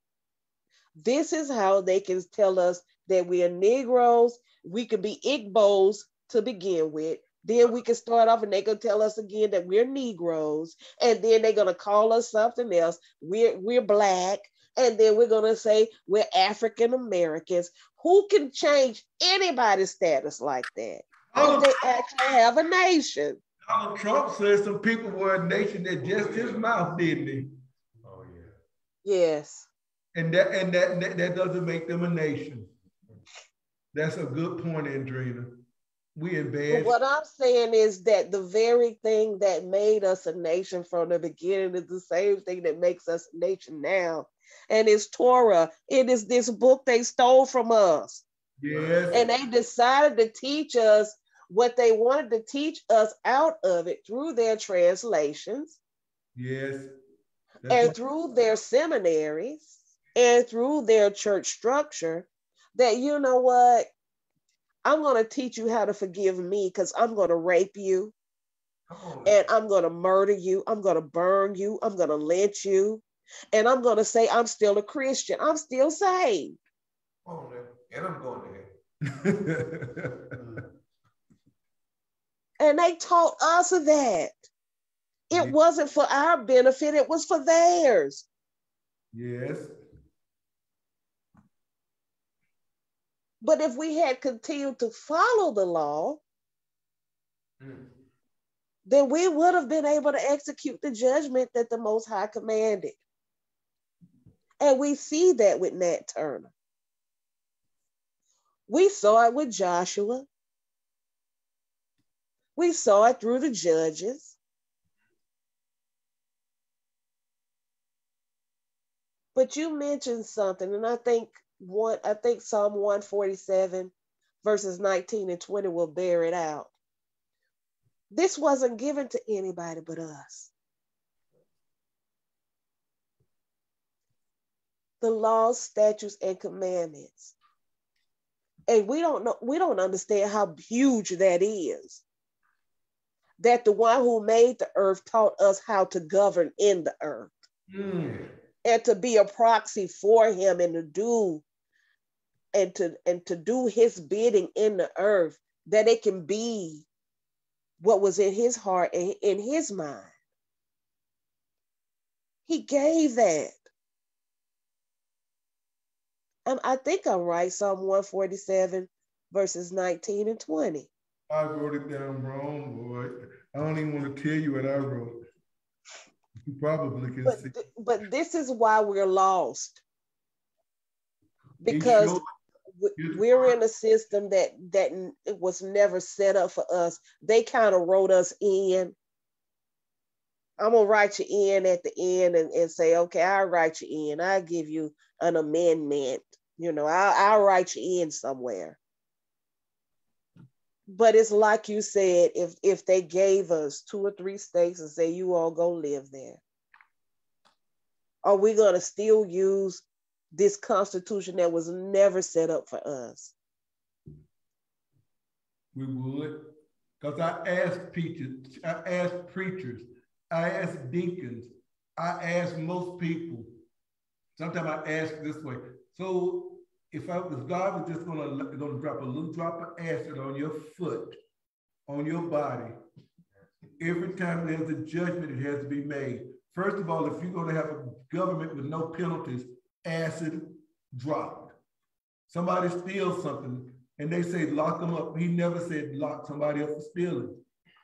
Always restitution. What about somebody raped somebody?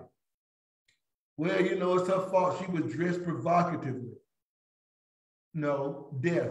The Bible said when you rape somebody, it's the same thing that you kill somebody that they cried out and nobody came to help. That's what it said.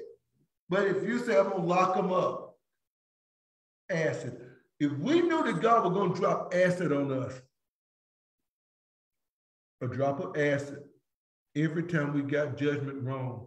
And then it drops some on your children. And then after one side get messed up, we're gonna make the other side get well again. We be careful in our judgment. If, if every time we slander somebody, spoke wrong against somebody, if he decided, I'm gonna just put one burn, one burn mark on your face till your whole face look burned. We be more careful in our judgment.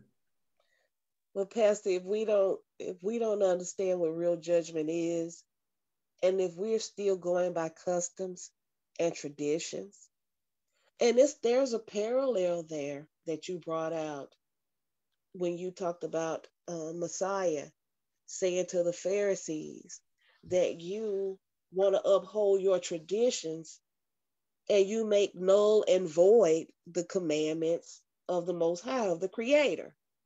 And we do that here. There's a parallel there.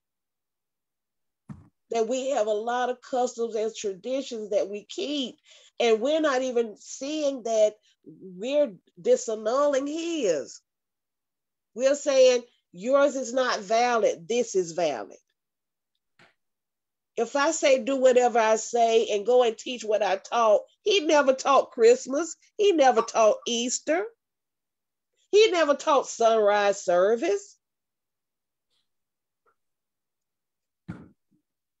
At least those things that pertain to what we call religious service or honoring and worshiping the Creator. But yet we are steeped in those things. And we don't see the parallel there. Somehow we miss it. And it's because we've been taught to miss it.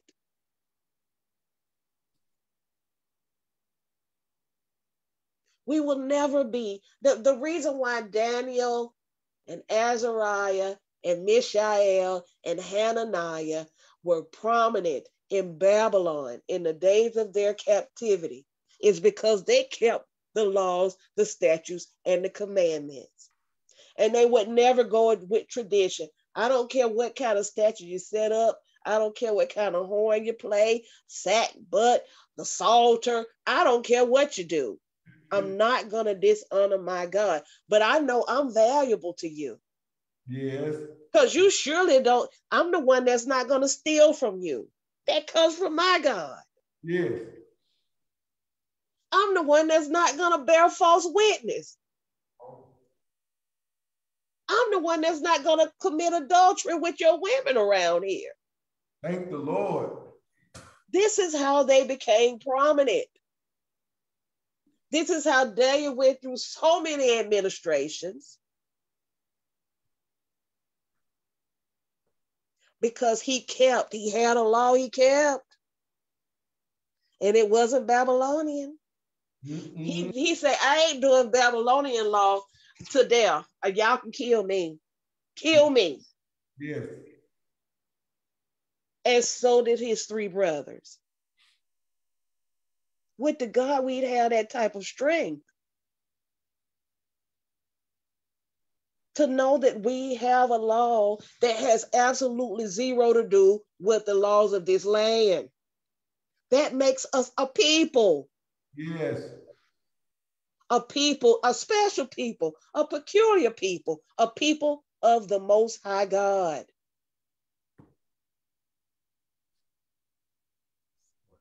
I praise him for that. I praise him. Because even though people on the reservation, they got their own law. They got their own law. Their own go- government. Right. And they say they are sovereign people. When we going to be sovereign? Under the Most High we got so many jacklegs telling us, I'm glad we ain't ever the law. Ooh, boy, I be messed up, boy. Ooh, I'm glad Jesus came. He didn't I don't see the scripture I asked for up on the screen. Can you put it up? I, I had it up there. You, you, you probably, it doesn't matter. It ain't, it's not there now. okay. Okay. All right. Do you want the woman Hannah Mishael right or the one about the? I wanted the Psalm 147 verse 19 and 20. It's there, right there for your reading. See it on the left? He sheweth his word unto Jacob, his statutes and his judgments unto Israel. He hath not dealt so with any nation. And as for his judgments, they have not known them. Praise ye Yah. And that's hallelujah. This, this is what made them a nation. All those things you read to us in Deuteronomy 4, 29, and 30, they were becoming a nation.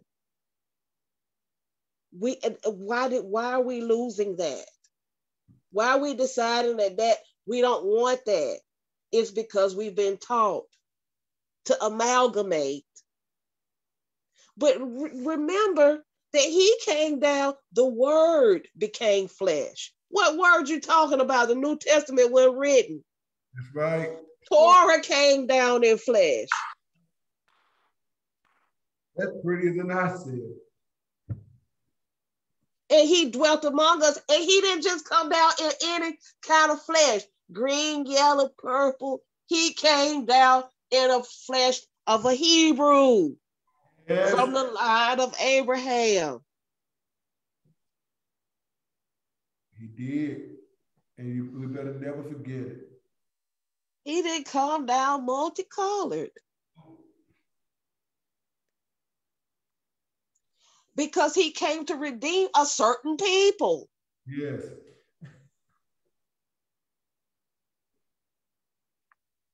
I'm gonna let that rest right there, and I'm gonna stop talking. I'm gonna let somebody else talk. I think it's time to rest. I think it's time to speak some more. I believe in that.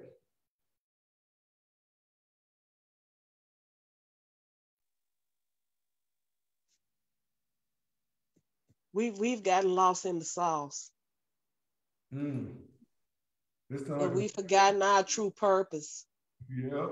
and we've forgotten that we've been redeemed.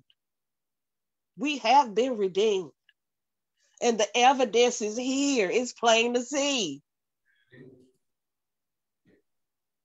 Not so many years ago, not even a hundred years ago, they was lynching us and burning us, raping us. Yes. then. You you can't see, and we we gonna we're gonna let them give the narrative and let them say, well, we would we decided to be nice to you and let you go. No. That's like the Egyptians saying, well, we, you know, we just decided to let you go. No, you didn't decide to let us go. He made you let us go. Yes. You don't get credit for that. You don't get to create the narrative and say, well, you know, well, we did have abolitionists and we get out of here with that. The Most High God delivered us, He delivered us. And that's still some delivering to be done yes. because salvation is not a one time thing. No. You are saved, you being saved, and you will be saved. Two lambs every day, two lambs every evening, and you better know it. And then on top of that, if you mess up, another one or something else. And then every three times a year, we're gonna go and rejoice. There are some cultural things, but as far as being in covenant, it's only the, the blood of the bulls and the rams that was lacking. Yeah. But the blood of our Mashiach, our Messiah, that's the better covenant Yes.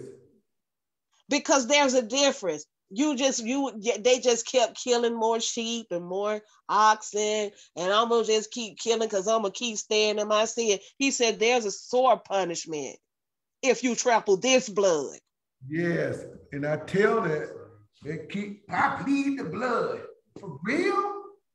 You be There's a sore punishment if you go on sinning Yeah. after this, after this power. It's not just his death, it's his resurrection, it's his ascension and the power he gave the gifts. And the gift is to live according to his will. and to do his government and his justice in the earth. I don't know why we ain't tired of this. They locked us down for, and we still can be locked down at any moment. Ain't y'all tired of this? Yes, hasten. You gonna create and take our tax money and go somewhere else and say you fighting it and send money so and so place. And you've done wrong here that you won't correct. Yes. You send billions and trillions of dollars over there. And we ain't, we still ain't built up where y'all tore in our land. And you still been over there in the Ukraine, you and your son both making money and getting people fired. Everybody got I'm gonna tell you something. When Andrina said earlier that this country is not made for us, these laws were not made for us. The Most High let me, I have forgotten what it was, but in his power and in his might, he let me find it. Andrina, can you see my screen where it says uh, the March 4th, 1790 HR Yes. Naturalization Bill? Yes. Okay, look at listen to what it says.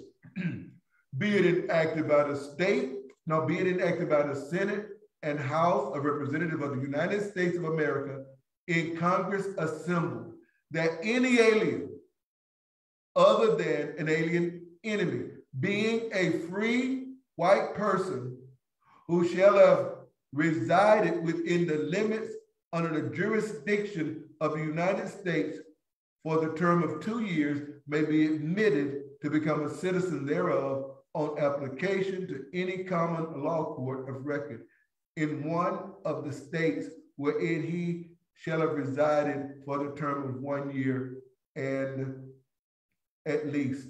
Because it's, it's written in old English, so the F is the S, etc. I'm just, I'm reading a copy of the original document. So when we say these laws weren't written for us, and she said they come back and add, try to say they add you in. No.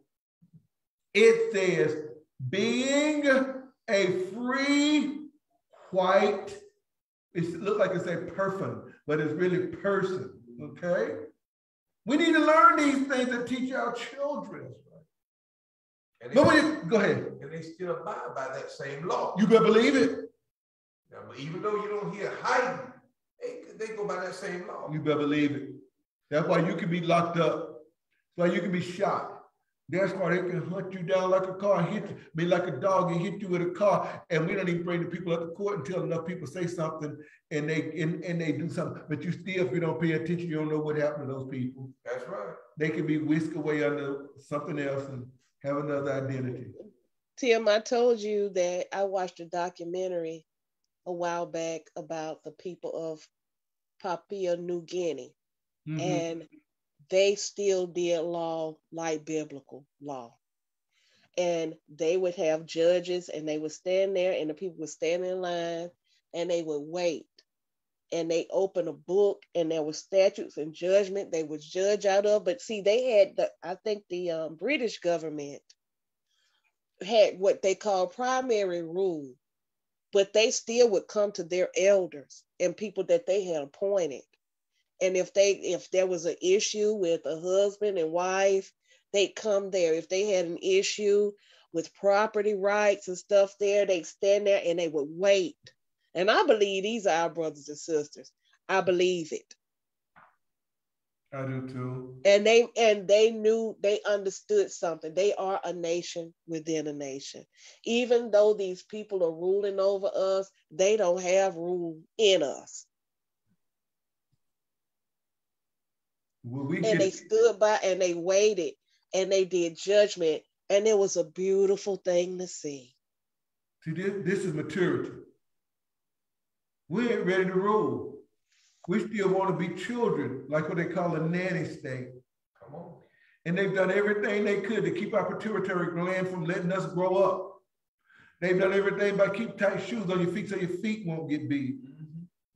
In the world of dealing with insects and when you deal with pesticides, they have something called an IGR. It's called an insect growth regulator. What an insect growth regulator is, it's called a chitin inhibitor. We got chitin and I have insects have chitin.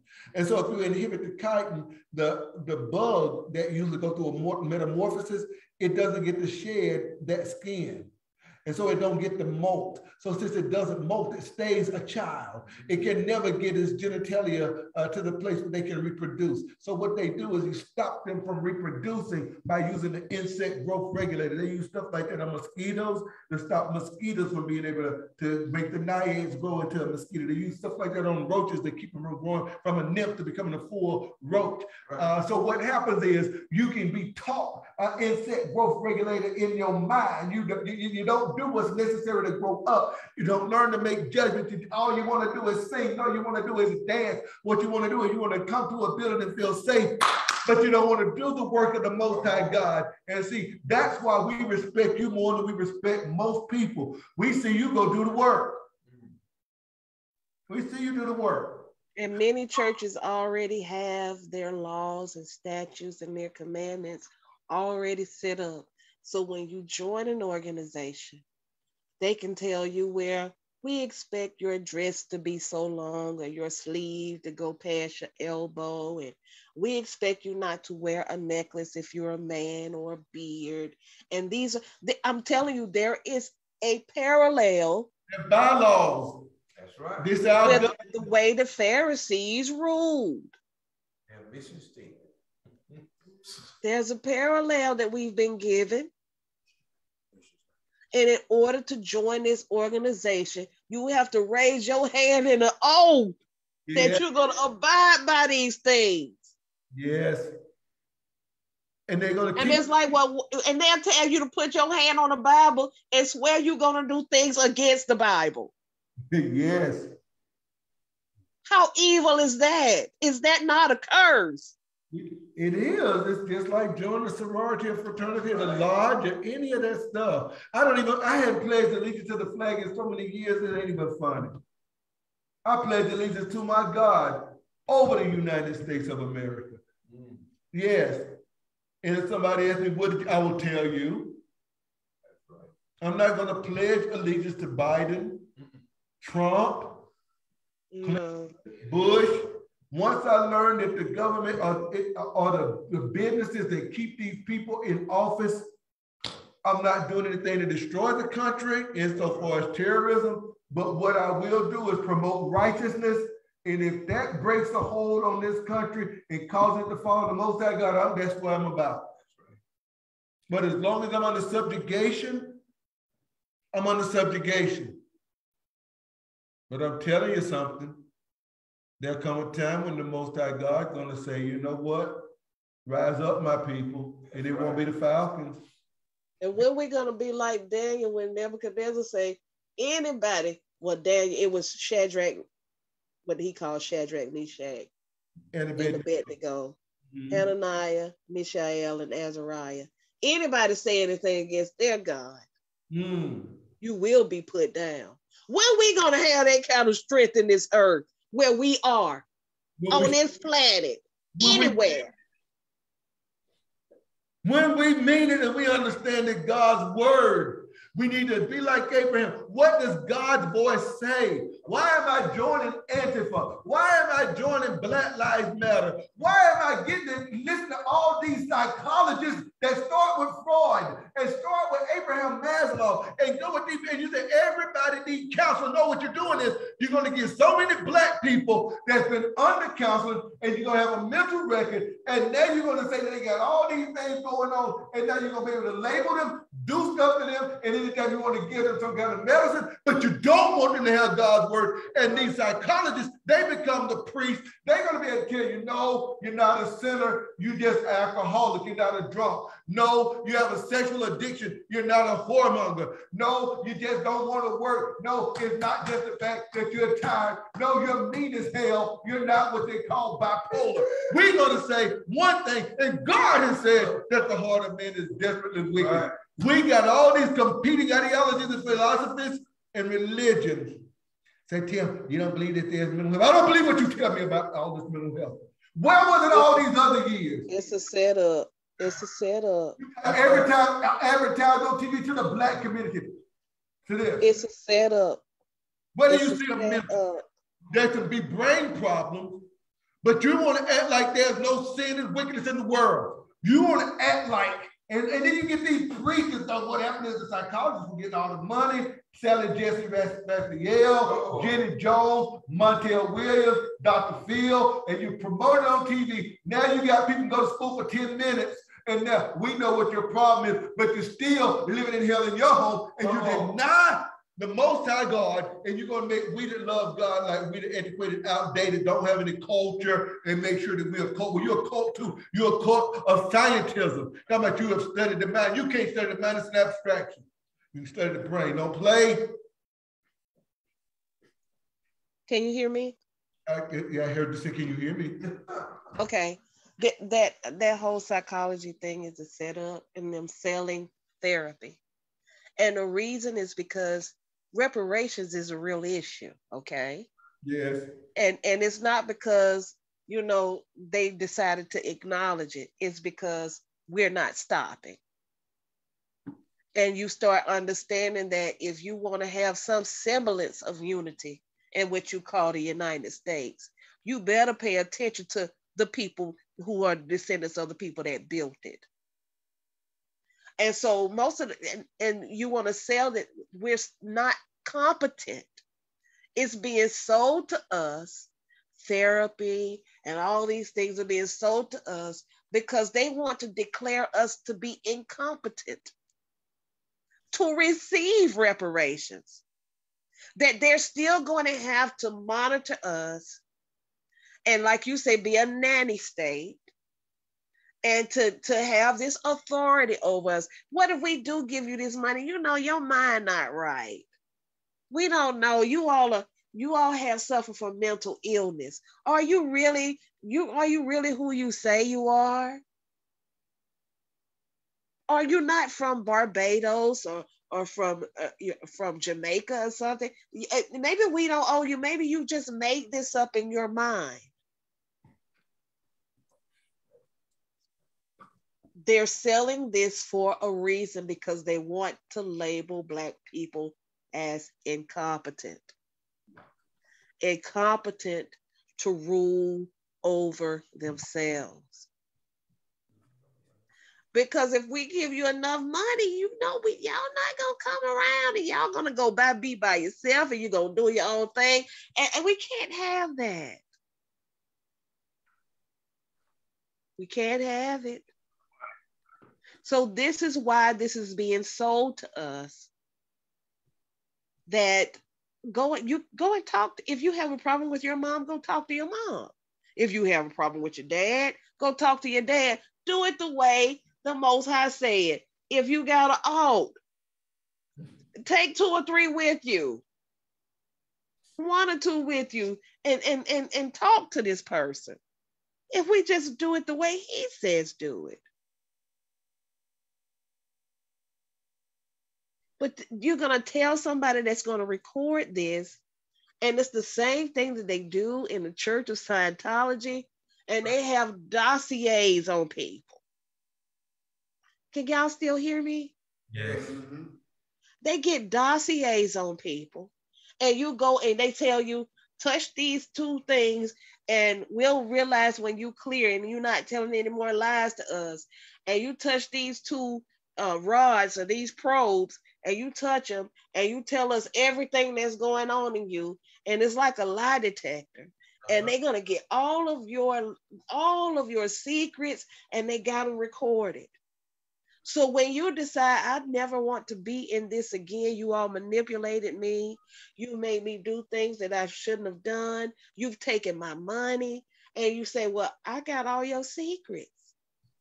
Do you understand that this is how the world works? It works through secrets.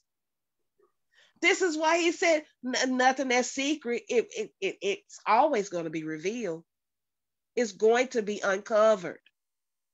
This is why he tell us to confess our faults. So nobody could come back and say, yeah, I know a secret about you. And if you give me $10,000, Or if you do this heinous deed, I won't tell anybody. Mm-hmm. You know, one thing that I want to pull up on the board that I just think is imperative. Can you see my board right here? I want, I'm going to go to PSA one. Patrick, like what? Uh, I can use an abbreviation. Okay, so check this out. Can you see it? Yes. Okay. Yes. When I when I do this and I go to PSA one, Psalm one, there one of the amazing things about that is I want you to see the Bible said, Blessed is the man that walks not in the counsel, the counsel of the ungodly. Why are we getting all our counsel from people that care not for the Most High God, don't want to hear anything about the Most High God? He says you're blessed when you don't walk in their counsel, nor be in their way, or stand in their way, or sit in their seat. But his delight is in the Torah of Yahweh, and in his law or Torah does he meditate day and night. You're going to be competent to handle your problems. You're going to be competent to be able to be delivered, and you'll be stable like a tree planted by the rivers of water, etc.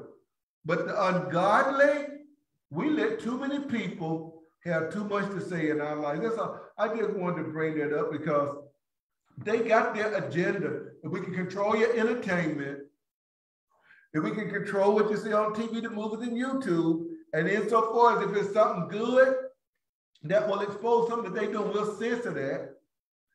If we can control your mind on what you think and what you learn in school, we can control what you think about your sexuality. We can control what you think about family. You're going to always be under our counsel, and it's not for your benefit. That's what I. That's what I wanted to say. Why would we give up God's Torah? No, and, and they tell they talk about climate change and all these things, and climate change is not about the weather.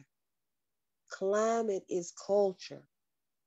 Climate is a cultural change, and they know that the Most High is doing something in the earth right now that they can't stop. And they're going to host conferences. And they're going to come together have committees. Because they understand that he's here and he's moving in the hearts of his people. And we're saying it's enough. It's enough if we look biblically and we learn and we discern from what we've seen through the old testament and how nations rise up and how they fall why would we think this one is going to last forever? It's stupid. The wicked going to be turning to hell in all of the nations that forget Yahweh God. And we need to be preparing ourselves for his coming. We need to be preparing ourselves to rule. And I may not need to be saying this on, on the air, but I'm gonna say it because I'm I'm saying in his spirit. It has to be done. We have to be ready because we're not being kingdom minded if we're not preparing ourselves now. What by what rule are we going to rule? He said we're going to rule and reign with him. By what laws, statutes, and commandments? Is it just what I think? It's just what I've been feeling all this time? It's just because I said I was saved and I, t- I said the sinner's prayer? Everybody else got a way they rule. Look at the wicked and what they do. There's no division with them. Uh, well, I might not want you to be ahead, but yeah, I recognize that you got more you got more guns than I do, and you have more nuclear weapons than I do. So I might will submit a little bit to you, and I will let you go ahead and let your dollar be the the the, the currency you know, for the nations to trade by. I may let you do that. And but until I get to the place where it's like, ah, that's not no longer profitable, but I'm gonna do it. They submit to one another. and they still rule as the same group of people when you call them Republicans or Democrats. Yeah, they the same people. Make sure that we are the power and not you. And we still make sure that we still love Europe, Great Britain, and we're going to show you all the king and the queen and the princes and these are the very people. And that's all propaganda. It's all propaganda. Yep. Every form of media that you see, television, if you hear radio, if you on the internet, all of these are form of propaganda to make you believe that you're not stronger and you're not wiser and you're not you don't have as much strategy as these people. It's all a performance. And because we care about what's on tv today am i going to the club tonight? My wife ran out of the house and i don't know where she going. We got an argument about something stupid. This is this is our, these are our distractions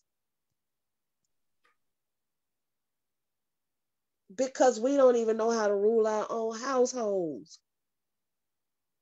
Because we've been ruling it by love and hip hop, scandal, every television show they put on. But not by the word that was given to us and only us to be a nation. I have watched videos after I say this, I'm gonna stop talking, let somebody else talk. I have watched videos of people in what they call Great Britain, but I call it not so Great Britain. And in London, England, or whatever you want to say. Okay, so they have something called Speaker's Corner. And Speaker's Corner is a place where they have decided to make a space where everybody could come and have freedom of speech. So it's and it's mostly religion. It's there's some politics there, but it's mostly religion. So you have Muslims, you have Christians, you have Hebrews, you have people from the Kemetic community, and I say what they the Kemetic community, I mean, who believe in Egyptology and things like that. Y'all, I'm gonna tell y'all, I have watched this stuff, and I'm telling you, the Hebrews prevail. They can't touch the Hebrews. They can't touch them because the Hebrews come and they bring their books. I'm gonna bring you the books. I'm talking about we talking about people from the the Ish community what they call the, the Oscar Ashkenazians. They come there, put the chain. These are things that we don't see happening in earth, but he's doing everywhere. And and this this one particular guy can be there for hours and hours until it gets dark and he's there. He's like, just tell me what you what your objection is, and I'll answer it. That was Ty. Yes. But he's he look he's he's us. But he's over across the waters doing the same thing that some of us are doing here.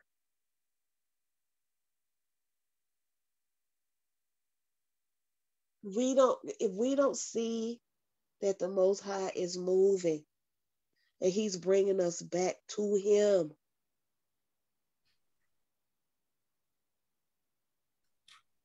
It's not about believing and having faith. It's about knowing. It's about it being written on our hearts.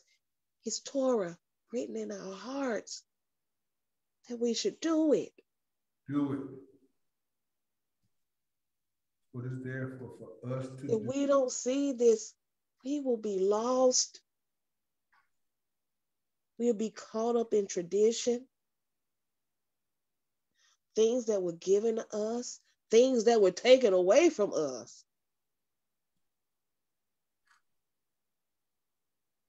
We better pray and ask. We better pray and ask before we condemn and set aside. We better pray and ask him.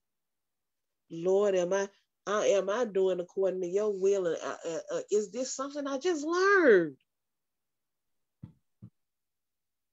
It's hard to unlearn stuff. It's so hard. It's so hard. Because for the longest time, when I would read the New Testament, they say, you know, you should read the New Testament. You know, you just going into church and just start, you know, just start at Matthew and just read. And it's like, okay, but I skipped a whole lot of pages to get to Matthew. like, I feel funny because I never read any other book like this. But I'm listening because I think, and I've been told that there are people who are in the church and they know better than you. So I'm reading and I don't have a clue who these people are, these genealogies. And then I was just like, okay, I'm gonna keep reading, I'm gonna keep reading. And I'm saying, and they've been telling me about this Jesus person. But when I'm reading what he's saying, he's not the person you've been telling me he is. And when I read about him, he, he I can't see that dude with the long hair and stuff and looking soft and and I, I can't see him saying the things that he said. This has to be wrong. First of all, you didn't tell me he would talk hard to people like this, and I love it. I like it. I like it. Do you see some of these saints that I just pulled up? Yes. You don't really get to see these people. These are black. I just couldn't that that face I couldn't put with the words. The face that they had given that that this is this white guy with the blue eyes and the blonde hair. I couldn't put that with the words. The words, I couldn't see those words coming out of this person's mouth. And I was like, this has to be a lie. Because first of all, the people that told me, well, he just about love, and I'm like, I'm listening to him. He telling me, you t- you better fear the one who can kill you and cast you into hell. Oh, oh, oh. When they came to him and they said he talked about the Pharisees, he and, and, and they say, then you know he they were offended. He was like, I don't care. I don't care about them being offended every tree that my heavenly father hasn't planted, it's going to be plucked up. Leave them alone. I was like, this is not the this is not the Jesus I be hearing in church. Why are they doing this to me? I, I don't, y'all giving me this partial kind of thing, and this this is not the whole person.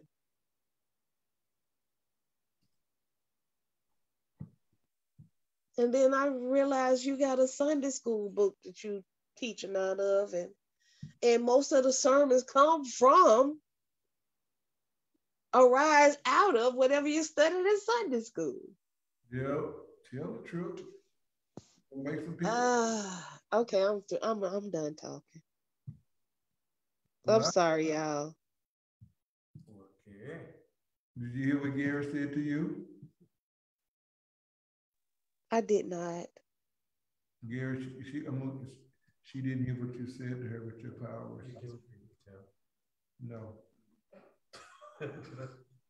well, I appreciate you joining me, Andrina. You did seem like you got the feeling better, and that made me happy. May the Most High bless us all and guard us, keep us, empower us to do His will, whatever it is in the earth, and that we will be offended when people want to mitigate, mock His holy and righteous word, who is revealed in the face of His Son whose glory is brighter than the face of Moses. Yet at the same time, the very same essence of the righteousness of the holiness of God is revealed the same way because the words that Moses had came from him anyway. May he help us. May he make us the nation he wants us to be. May he cause us to be the soldiers that he wants us to be.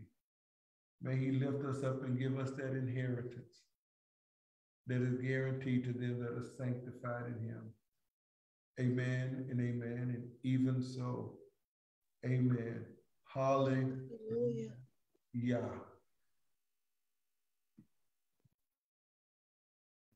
I forgot. I had just I forgotten. Goodbye, y'all. Love y'all. Goodbye, Andrina. I love you. I plan to come home to you later on.